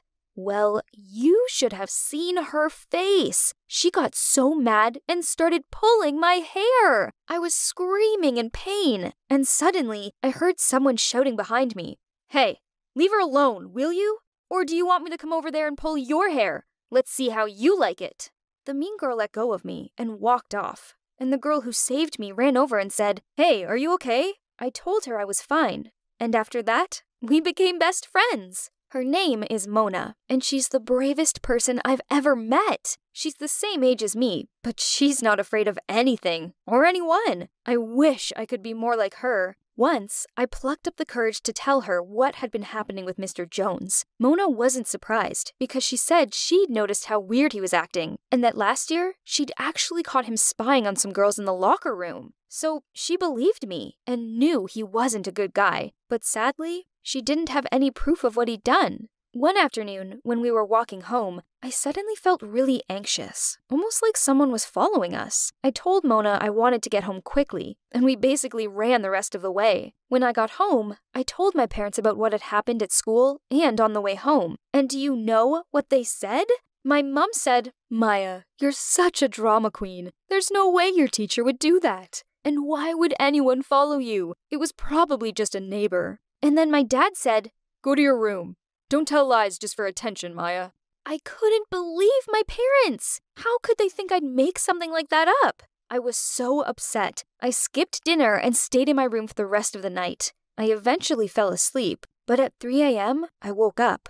There was some kind of tapping noise that had woken me up, and I had no idea what it was. I went to check on my parrot, Lemon, thinking maybe she'd escaped out of her cage, but Lemon was fast asleep in her cage. So, where was that noise coming from then? I opened the curtains to check, and that's when I saw a shadowy figure. I got such a fright and screamed so loud I woke up my parents. They came running to my room, and my mom said, What's wrong, honey? I was so scared I could barely speak and only managed to stutter, There, there's someone at my window. I pointed outside to show my parents, but by then, the figure was gone. I didn't understand it. It had just been there. My dad turned to me and said, Come on, Maya, go back to bed. You probably just had a nightmare. Then they went back to their room and left me alone. But I did see something. It wasn't just a nightmare. Someone was following me, and I was going to find out exactly who it was. The next day, I told Mona about what had happened, and she was so worried. She said there were lots of weirdos in this town, and I had to be careful. After school that day, I decided to stay behind and ask Mr. Jones for help with my homework. Even though he'd been acting creepy, I decided maybe my parents were right, and maybe I'd just misunderstood him. Plus, I really needed his help on this, or else I might fail the upcoming test. And to be safe, Mona was right outside waiting for me, so if he tried anything, I could just scream for her to help me. I went to his classroom, but he wasn't there, so I decided to wait for him to come back. While I was waiting, though, I spotted something on his desk. I took a closer look and couldn't believe what I was seeing. There were three pictures of me sitting there. One was of me practicing my cheerleading, another was of me watching TV in my living room, and the third was of me in the shower. I knew I should have shut the blinds when I was showering the other day. Oh my gosh, it all makes sense now. Mr. Jones was stalking me. He'd followed me home and knew where I lived. This was a disaster. I took a photo of the pictures and sent them to Mona. She called me straight away and said, I knew it. My dad's a police officer, so I'll call him, and he'll be here right away. But then I heard footsteps, so I hung up. Someone was coming in. It was Mr. Jones! As soon as he saw me holding the photos, he started doing that creepy smile again. So, you finally figured it out, he said. You know, I have a bit of a thing for German girls. Lucky me that I get to be around you every day. He was walking towards me, and I had no way of escaping. I tried to run past him, but he caught me and pushed me against the wall. I started crying and said, No, no, please leave me alone. But he wouldn't let go. He tried to make a move on me, but I managed to kick him where it hurt most, and then I shoved him in the ribs with my school bag. He fell over, and I used that as my chance to escape. I made it out the door, and by that point, I was screaming for help. But Mr. Jones started chasing me. I have never run so fast in my life. And just as I turned the corner, the police arrived. The principal was also there, and so were my parents. Thank God! Perfect timing. I thanked Mona for saving me, because if it hadn't been for her, I dread to think what could have happened to me. My parents apologized for not believing me sooner. They felt so bad, and of course, Mr. Jones got sentenced to 30 years in prison. During the court case, he admitted to having assaulted 12 other girls over the past five years, which is why he got such a long sentence. If you ask me, he should have gotten even longer, though. After that, I became a hero at my new school, and all the other girls were so grateful to me for getting him sentenced. And now that he's locked up, life at school is a lot more comfortable and I actually enjoy it more than I thought, especially since I always have my best friend Mona beside me. My name's Faith. I'm 16, and it was always just me and my mom. I don't know much about my dad. Actually, I've never met him. All I know is that my mom really loved him. When she told him she was pregnant with me, he confessed that he was married and then abandoned us both. Mom moved to the suburbs and brought me up alone. I love to dance, but mom couldn't afford dance lessons, so I taught myself by watching online videos. Mom loved watching me dance. Seeing her look so proud made me feel proud too. Then something awful happened. When I got to high school, my mom got in a car accident and she passed away. So I went to live with my mom's sister, Aunt Clarabelle. Then I started my new school. Everything was new and strange. In class, my teacher told me to sit next to this pretty girl called Anita. I smiled at her, but she just laughed and made fun of my backpack. For the rest of the day, Anita made snide comments toward me, and all her friends looked over at me and laughed. I felt so alone. It was horrible. That evening, I tried to release my frustration through dance. My aunt walked in and saw me spinning in the living room. She seemed pretty impressed and told me she'd sign me up for the dancing center in town. I was so excited, as this meant I'd finally get professional lessons. In my first session, I walked in to see Anita there. It turns out she's also a dancer. On seeing me, she said, Oh no, not another loser. All the other girls laughed, but I tried my best to ignore her, as I was here to learn. I noticed how all the other girls at school gathered around Anita and stuck to her every word. I wasn't sure why this was. Were they afraid of her? If any girls dared to question her, she'd say mean things about them. I once saw her chuck one girl's phone in the bush because she hesitated when Anita asked her something. My school life got better, as I made friends with this girl called Rian. One weekend, one of Rian's friends was having a party, so she invited me along too. Anita was also at the party, and it wasn't long before she announced a battle dance game. Everyone just stepped back to two sides and revealed an empty place in the center, and then the music played. Anita began to dance first, and when it was the other side's turn, everyone looked at each other, and suddenly, Rion pushed me into that space. At first, I stood there confused, but after being cheered by everyone on my side, I danced. Everyone applauded, and Anita stormed off in a huff. After that, kids I didn't know started talking to me. I didn't feel like such a loser anymore, and it was all thanks to Rian and my love of dance. I guess Anita saw it as me stealing her limelight, and she didn't like it one bit. So she started playing mean tricks on me. One day, during a basketball lesson, Anita and some of her friends threw a ball towards me while I was walking out from the toilet. Fortunately, Cameron, this really cute guy, leaped up and caught the ball. Then he asked me if I was all right. I looked over at Anita. She was so mad. I figured that she probably had a crush on Cameron, as most girls do. When school finished, I went to the parking lot and found both my bike tires punctured. I started to panic, as I didn't know what to do. Then Anita and her friends walked past. She had the biggest grin on her face.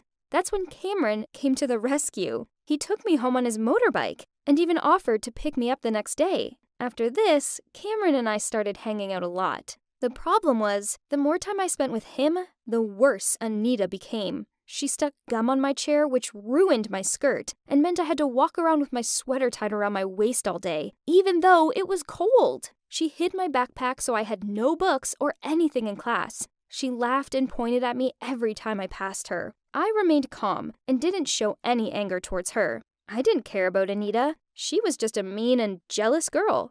Cameron and I started dating, and then we became an official item. For the first time in a long time, I was actually happy. Then, the most anticipated event of the year finally came. A talent show was taking place for kids in the area, and my school held auditions to find the best acts to represent them. With encouragement from Cameron and Rian, I found the confidence to sign up.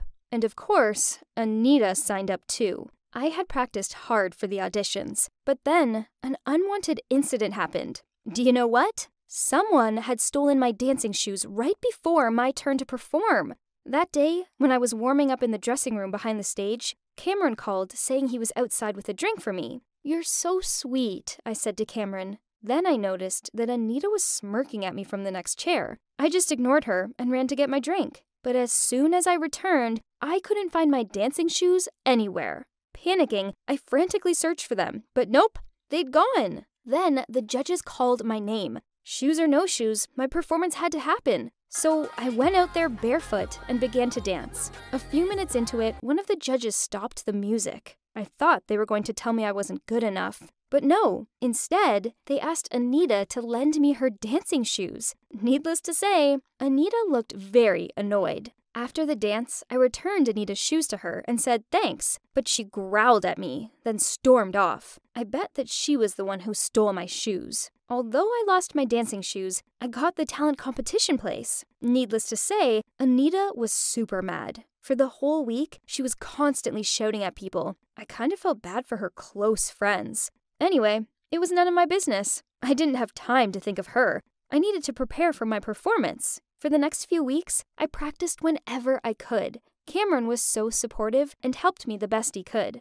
Finally, the contest day arrived, so we took the bus there. Anita and her friend sat on the same row as us. She tried to flirt with Cameron, even though he didn't care about her at all. And when the bus went around the corner, she even pretended to fall onto Cameron's lap, then touched his chest. Talk about shamelessness. When we arrived there, it was so busy with heaps of kids from other schools. I began to tremble and tried my best to control my breathing. There were a total of 15 performances selected for the final round, and all other contestants were very talented. After the welcome and introduction ceremony, the performances began. Nervously, I was the final contestant. Walking onto the stage, I greeted the audience and started.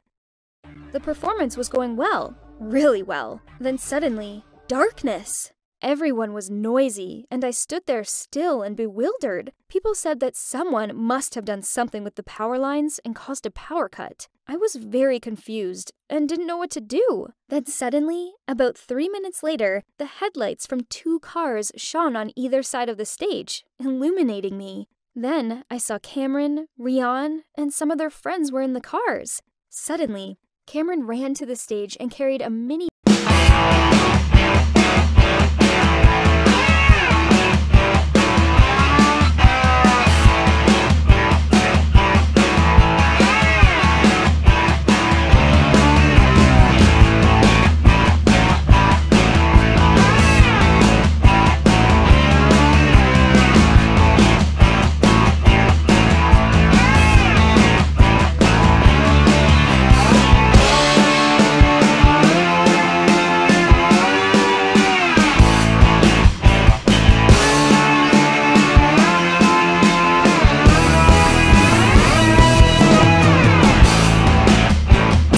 was really touched at that moment. I guess I impressed the judges, as guess what? I won first place! Right after the awarding ceremony, I went down and hugged Cameron and Rian. I had the best boyfriend and friends in the world, and I was so grateful. After that, I entered the dressing room and found Anita crying. I asked her if she was okay, but this only made her cry even more. She sobbed out and pushed me. Why is it always you? Why are you so lucky? Why do people all like you, not me? I replied, Anita, sorry. I did nothing to you. I just let everything go as it is. Tell me what happened to you. Then she looked at me in tears and said, It's me. I cut the power. I wanted to ruin your performance, but I only made it even more amazing. I asked her, Why would you do that? And she replied, Because ever since you showed up, I felt like a nobody. You're a better dancer than me, and Cameron likes you, not me. I know many people would have been mad at her, but I just felt sorry for her. So I sat down next to her and gave her a hug and said, You're an amazing dancer. I wish I could do the twist and punch like you can. Yeah, I am pretty good at that, aren't I? After a while, she managed to smile. I really am sorry for everything. Now, Anita and I are friends. We often practice dance routines together, and at the end of the term shows, we even perform together. Guys, adversity is the mother of wisdom. We should never be pessimistic when facing difficult situations. Let's try our best to overcome it. The results will not disappoint you. Hello, everybody. I'm Caitlin. My short height and young looks may make me look like a kid, but appearances can be deceptive. I'm actually 34 years old. I know it sounds crazy, but it's all down to my super rare condition called Turner syndrome. It's a disease that only females have. It means I only have one X chromosome, and as a result, it means I look far younger than I am. And I'm in the same height as your average 11 year old. So even though I'm an adult, I pass for a kid. You may think this sounds great. Sure, I can go crazy in a candy store without raising suspicion, but other than that, looking way younger than I am is hard to live with. I'm the oldest of three kids. My bro Jeremy and sis Dayla may be younger than me, but because of my condition, they both look older than me and they tower above me.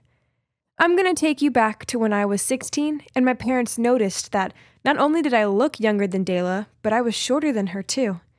I told myself it was nothing. I was just a slow developer, that's all. But my mom thought otherwise. So she dragged me to seven different doctors. Then voila! One of them diagnosed me with Turner syndrome. Naturally, neither me nor my family had ever heard of this condition before. I mean, come on, a disease that makes someone stay young forever? It sounds like something out of a movie. Relax, I'm not dying or anything, but it does mean I'll never look like an adult. I realize people spend a bunch of money to look young, yet here I am, doing it without even having to try. But trust me, looking like a little kid when you're not one can be problematic. For instance, high school was a nightmare. I had this one friend called Alice.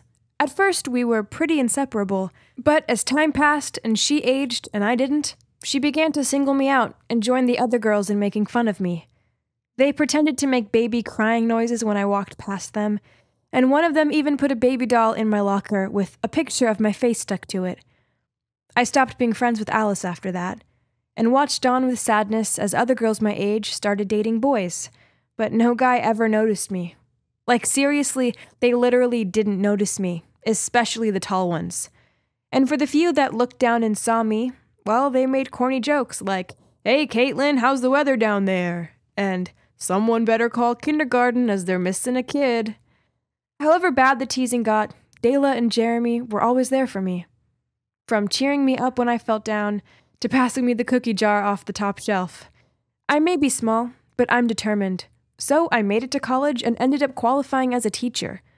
On my first day of my new job, I was extremely nervous, but I reassured myself that I could do this. On seeing me for the first time, my students were surprised and clearly confused. One of them spoke and said, Excuse me, little girl, are you lost or something? Where's your mommy? Wow, the nerve of that girl. As if she just said that. I decided to take a deep breath and said, No, I'm your teacher. I may look like an 11 year old child, but I assure you that I'm not. They all snorted and laughed, and one kid said, Yeah, right. So I passed my ID card around the class. I couldn't help but smile as one at a time they looked down at my ID with shocked faces. Priceless.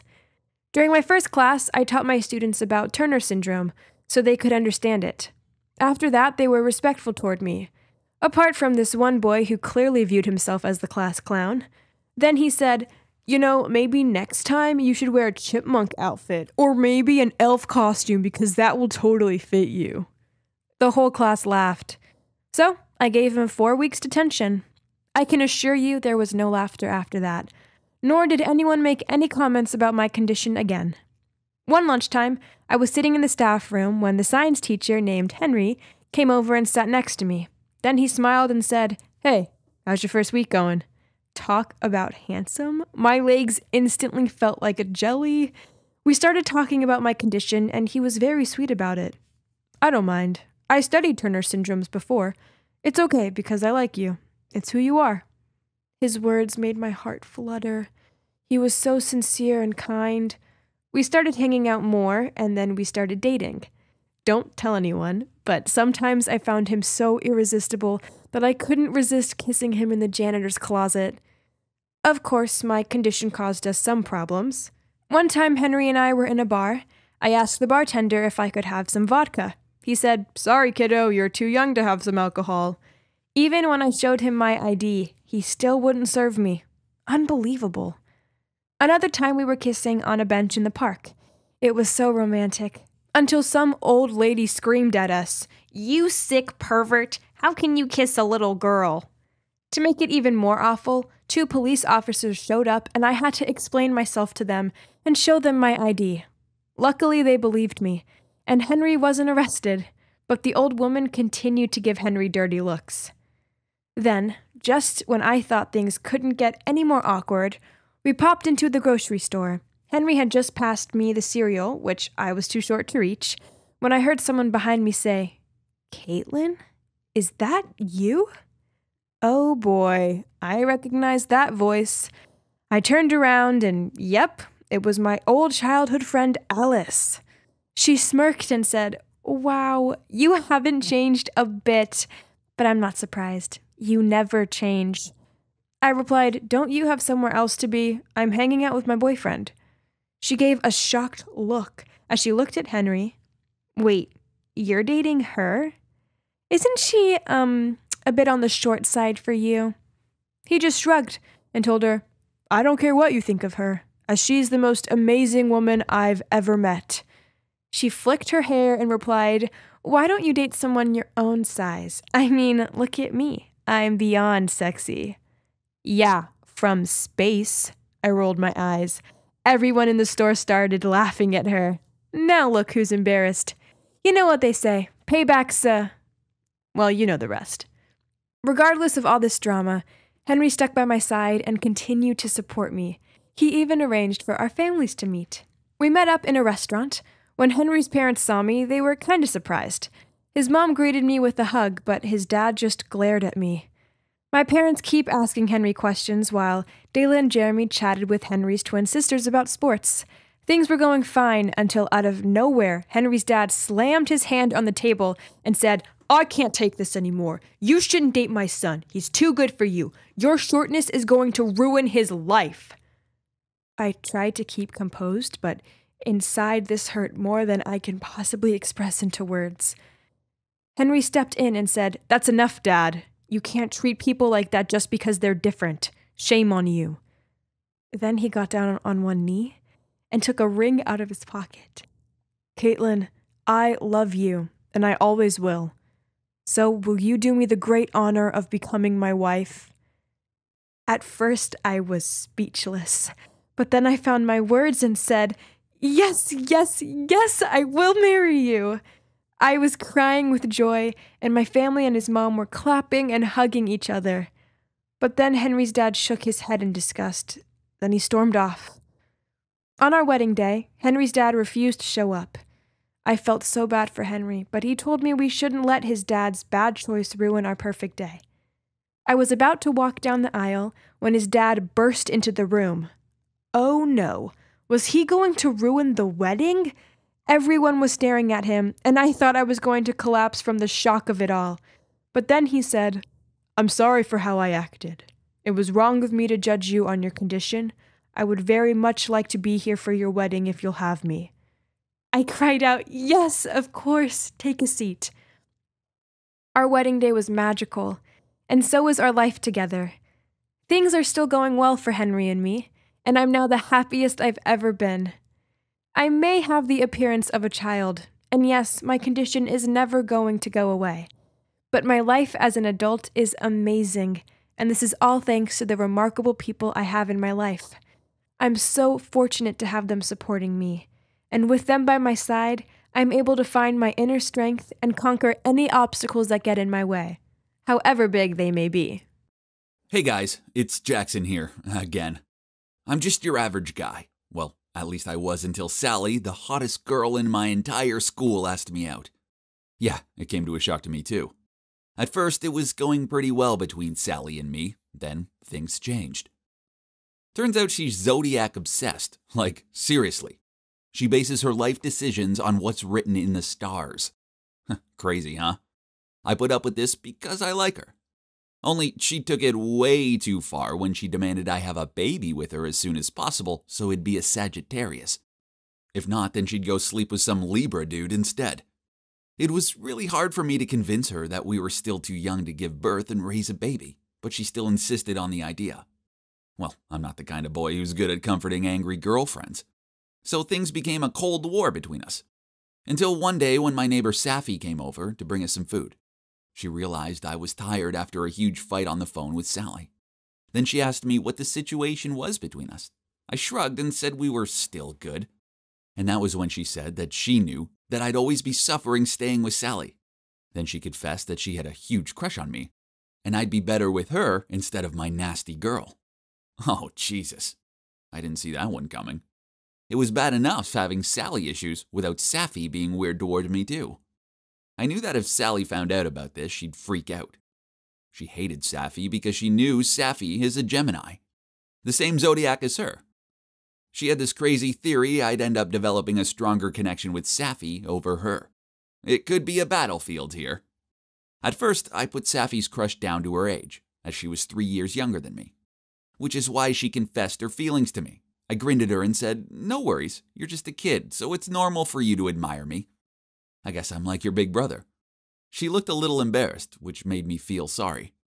I told her she was an awesome friend, And that was when she said, Okay, I'm happier to start as a friend than a little sister. She winked at me, and then her flirting plan began. One night, Safi showed up with Chinese takeout and insisted me watch a movie with her. Suddenly, she began stroking my arm just as Sally walked in with pizza, saw what was going on, and threw the entire box at me. Then the zodiac theory started up again. Sally said that she knew it from the start that love was just a game for me, and that the Gemini slut would steal me from her. Safi started shouting at Sally and said she was a terrible girlfriend and that I deserved to be with someone better, someone like her. They were literally pulling at each other's hair and wiping slices of greasy pizza all over each other's faces. I tried to stand between to stop them and take all the hits myself, until not a slice of pizza but a reed diffuser jar was thrown right at my head and caused essential water inside to cover me. The two dropped whatever they were holding in their hands and rushed to me. They kept touching me and trying to show their care for me, and I just had to leave them to it. Now I had two sassy girls battling over me, and I was stuck in the middle. I couldn't work out if this was flattering or terrifying. It was obvious that they were both competing to show how deep their love for me was. Safi often showed up with food and said sweet things to me.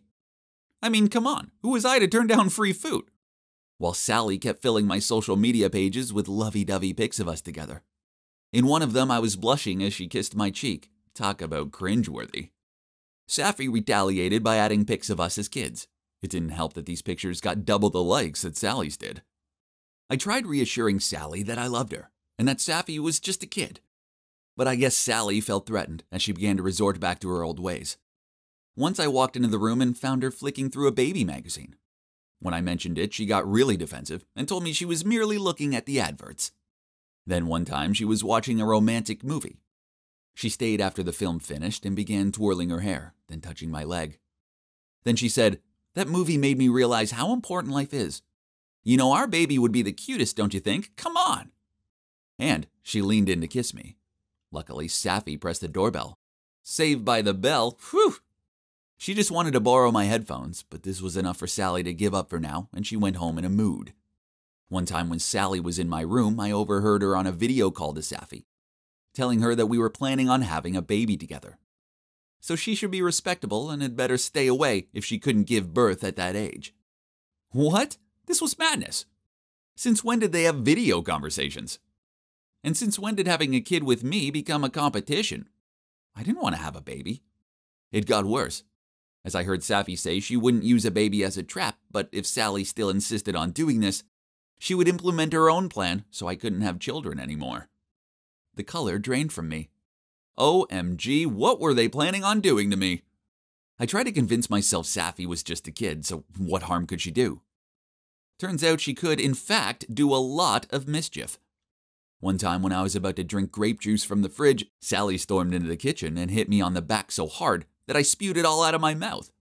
Then she poured all the grape juice down the sink. She told me that Safi had just slipped out to her, saying she'd mixed a potion in there so I could never have kids. Safi denied it and said it was regular grape juice. And Sally refused to show me the messages, which she claimed Safi used psychic powers to delete. I have to admit, I didn't believe Sally. I mean, hello, the whole potion thing sounded bonkers. Then my mom's party happened. Mom invited our neighbors, so Safi was there. And of course, Sally came to join us. After cake, Sally pulled me up to my room. Oh my god, I already knew what she was trying to do. She kissed me intensely and had her hands all over me. It took a lot of effort for me to control myself and push her away, but she whispered in my ear that she had given up her baby plan. Then she pulled out a box of condoms from her pocket. Suddenly, my closet door opened to reveal Safi sitting in there. She rushed out and snatched the condom box from Sally's hand and said, I watched her poke them with a needle. This is all her sick idea of tricking you, and I'm putting a stop to it. Naturally, this made Sally super mad. She screamed at Safi that she was a sick weirdo for spying on us. Safi just smirked and said that she just performed a ritual in my room so I wouldn't be able to have children with Sally anymore. Suddenly, I smelled something burning. Smoke was coming out of my closet. I opened it to see a fire in the corner. I was about to run out to get water, but Safi grabbed my arm to stop me and shouted something about how if I did that, the talisman would be ineffective because her psychic said she had to let it burn until the fire burns itself out. I pushed her away and ran out of there. I returned to find the door locked from the inside. I could hear both girls arguing inside, and I saw smoke coming from the gap in the door. My parents ran up and helped me bang on the door, but those girls were having none of it. Forget the fire. The scariest sight by far was happening next to the window. The two girls were grabbing each other's hair, at the same time fighting and trying to hang their heads out of the window to be able to breathe. My parents rushed in to pull them out, and they eventually saw sense, although they did insult each other as they were being pulled out. Now I'm pretty famous in my town. Everyone knows me as that firehouse guy, and how I'm so desirable that two girls ignored the fact that their lives were in danger to fight over me. Great. Also, I lost pretty much all my stuff in that fire. I'm currently not talking to either of them. Safi's tried apologizing. One time I actually jumped into a bush to avoid her. As for Sally, I'm ignoring all of her calls. Those damn girls. I'm sure they'll be the death of me.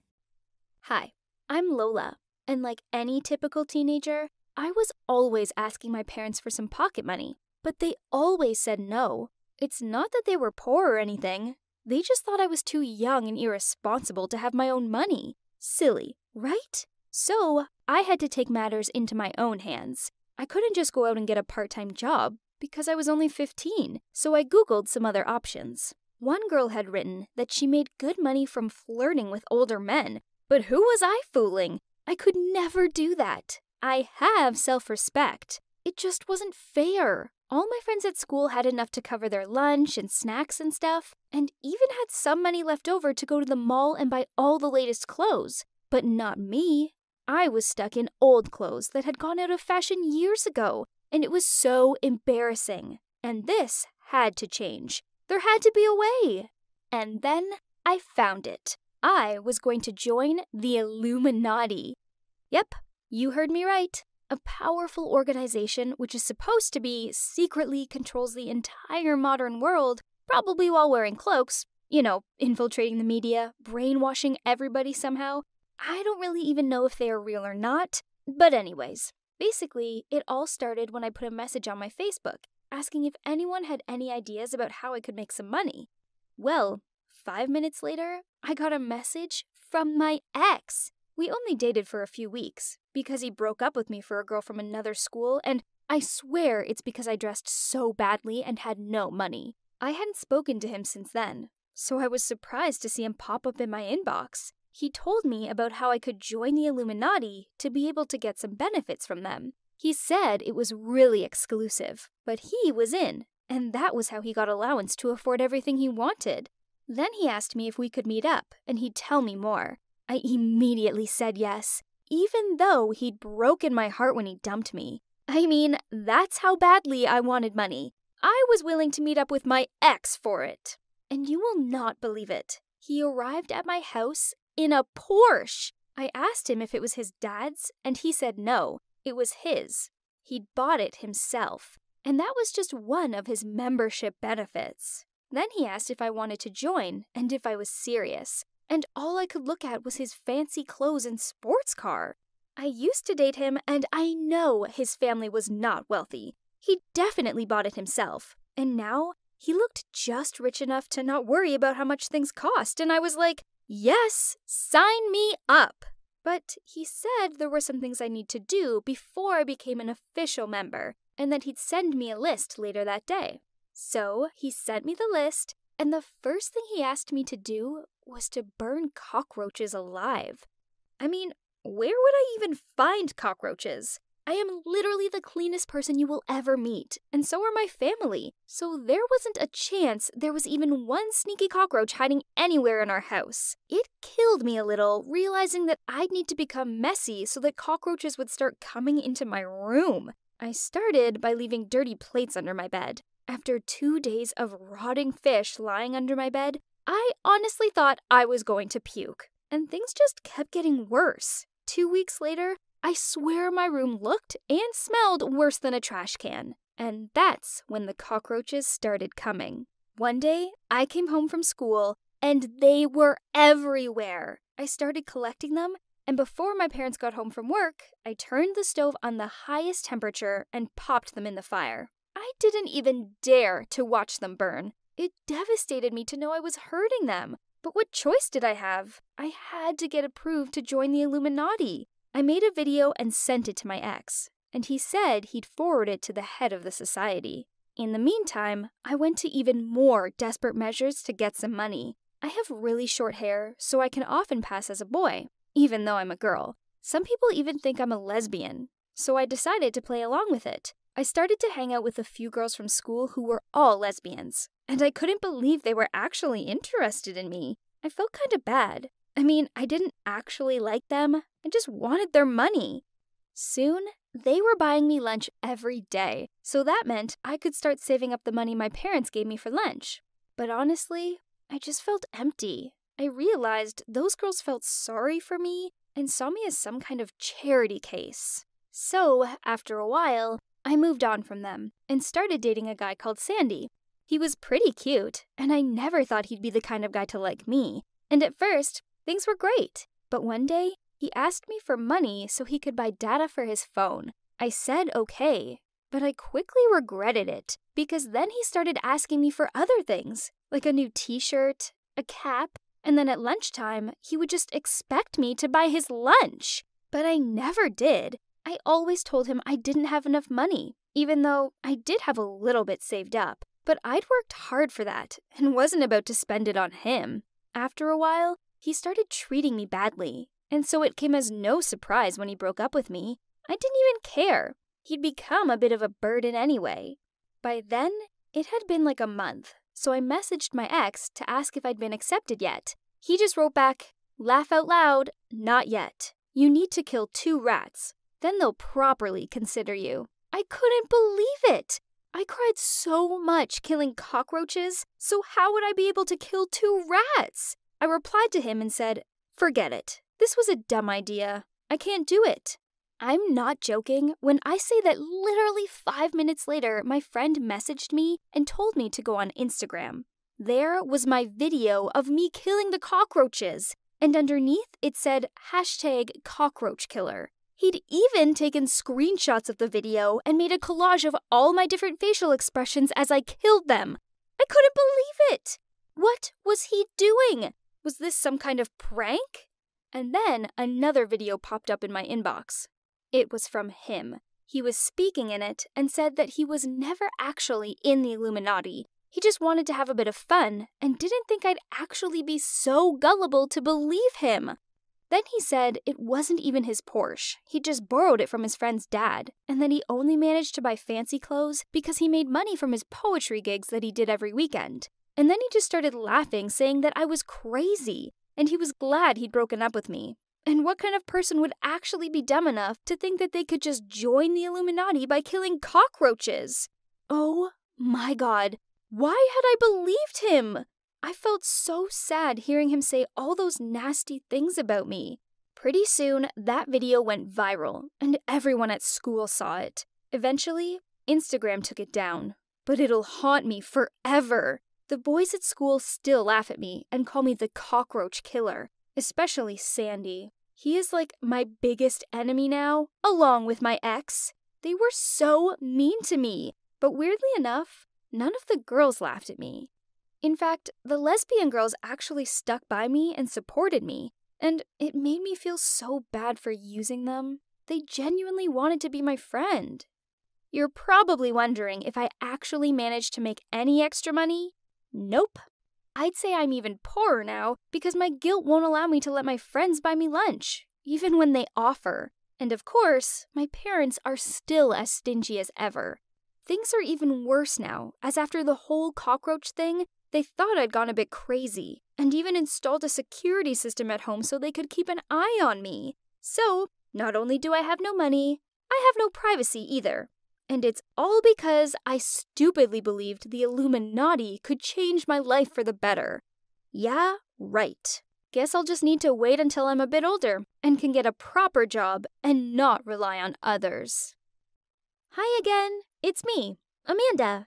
In the first part of my story, my mom went to prison, and I ended up in an orphanage. Two families attempted to adopt me, but both failed miserably. And then, third time lucky, I met James. He adopted me, and we hit it off immediately. But then I started to develop inappropriate feelings for him. Everything was going great until Rosa, the new neighbor, turned up and started flirting with him. Now I'm jealous, and I need to find a way to tell James how I feel. I couldn't take it anymore, so I went to my best friend Juana's house. She'd been my best friend ever since I'd ended up in the orphanage, and now she lived with her adoptive parents just two streets from my house. I told Juana how I was feeling about James and how I thought maybe he felt the same about me, but then I explained how Rosa was getting in between us now. She was so supportive and said I should tell him soon before anything happened between him and Rosa. I had been so nervous about telling him,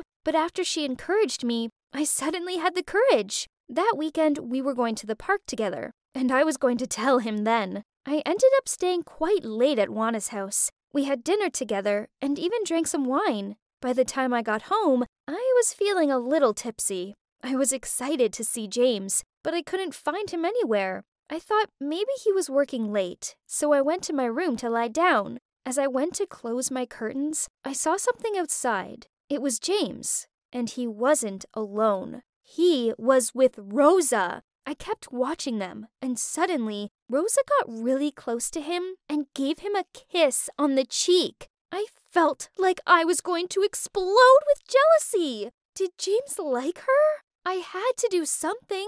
I knew I wasn't thinking straight because I was kind of drunk, but I couldn't just stand there and watch that woman steal him away from me. I saw him heading towards our house, so I stumbled down the stairs and ran to the front door. He opened the door, and I was ready. I rushed to grab him and started kissing him like mad. At first, he just froze. He didn't kiss me back. Then suddenly, he pushed me away and started shouting at me.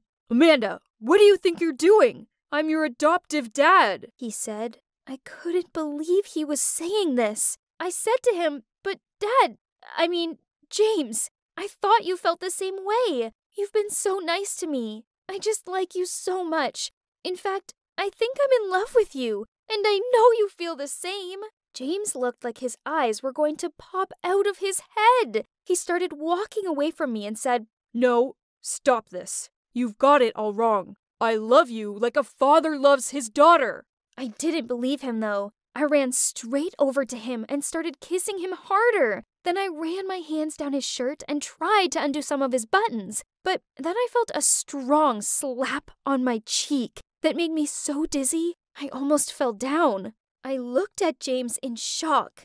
Had he really just hit me? He looked shocked too and immediately apologized and said he was sorry. He reached out to touch my cheek, where his hand had left a massive red mark, but I moved away from him. He wasn't the kind of man to do this kind of thing. This was all because of Rosa. I knew it. I burst into tears and ran out of the house. I didn't even know where I was going. I just kept walking, and subconsciously, my feet led me to the orphanage. I went inside, even though it was late, and the woman working there came running up to me to check if I was okay. I burst into tears as soon as I saw them and just stood there letting them hug me.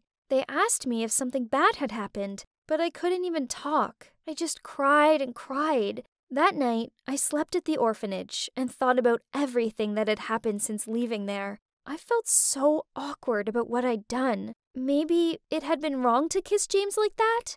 The next morning, I woke up and said goodbye to the women at the orphanage. I decided it was time to head home and apologize for what I'd done the night before. But when I got home, the house was empty. In the living room, I found a note from James next to a photo of my mom and me. I could not believe what I was reading. James wrote, Amanda, there's something I need to tell you. I knew your mom. In fact, we used to date. I didn't know she was your mom until I found this photo of you and her in your desk drawer. I met her when we were 17, and we quickly fell in love. I was the typical goody two shoes kind of student, and your mom was the naughty rebel. But they say opposites attract, right? We had a passionate love affair. Then one day, your mom told me that she was pregnant. I'm sorry to admit this, but I freaked out. I asked her to get an abortion, but she refused. So I left her and went to study abroad. I've regretted it ever since. And when I got back from overseas, I tried to contact her, but I couldn't. So then I tried to forget about her and got married and started a new life. Then I read on, and it was even more shocking. It said, From the moment I saw you, you seemed familiar, and now I know it's because you really are my long lost daughter. I need some space now, though, because what happened yesterday was really awkward, and I need to gather my thoughts. Please wait for me, though. I promise I'll be back soon. I was so stunned. Is this what I had been feeling? A special bond because he was actually my dad? Oh my god! I felt so embarrassed. I'd completely misunderstood my feelings. I sat there trying to process everything I'd just read when suddenly the phone rang. It was the woman from the orphanage, and they said my mum had come to get me. What? This was too much. In one day, my whole life had been flipped upside down. I ran back to the orphanage, but my mum had already left. I couldn't believe it. Luckily, she left a phone number, and I called her straight away asking her to meet me at a nearby coffee shop.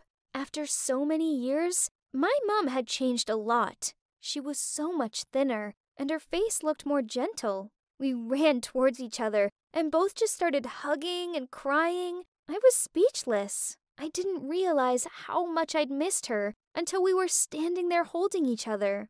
After about five minutes of hugging nonstop, I remembered there was something I wanted to ask her. I showed her a photo of James, and my mom was surprised to see this. I asked her if this was my dad, and my mom looked shocked. Then she just shook her head and asked me to sit down so she could tell me their love story. She said that they'd been deeply in love, but that James was planning to go study abroad for three years. She didn't want him to go, so she lied about being pregnant so that he would stay. But the plan backfired, and he still went abroad. My mom was so upset that the day he left, she went to a bar and got really drunk and ended up spending the night with a stranger. She can't really remember anything from that night, except the fact that the stranger is obviously my dad, and she has no idea who he is. Wow, this day just keeps getting crazier. I won't lie, I was relieved to hear James wasn't my real dad, especially after the kiss I'd forced on him. But now, after hearing my mom speak about how much she loved James, I realized something. They still liked each other. Maybe this was why all this had happened, so that I could bring them back together. I asked my mom to come back to the house with me, and then I offered to help her find an apartment. She was nervous to be in James's house, and as soon as she was inside and saw the photos of him and his family, she started crying. But I told her about the accident, and she was so shocked. Then she saw my room and started crying again and apologized for being such a bad mom to me in the past and that it was all because she felt like her life had ended when James had left her. As she said that, we heard footsteps behind us, and I realized James was home. The moment he saw my mom, he just froze. And then they ran into each other's arms, and it was the sweetest thing I've ever seen. I left them to catch up and went to sit outside in the garden. At least now, I didn't need to worry about Rosa, and I guess I had everything I'd ever wanted. My mum was back, and she was like a new woman. And now I had a dad, too. I finally had the family I'd always dreamed about.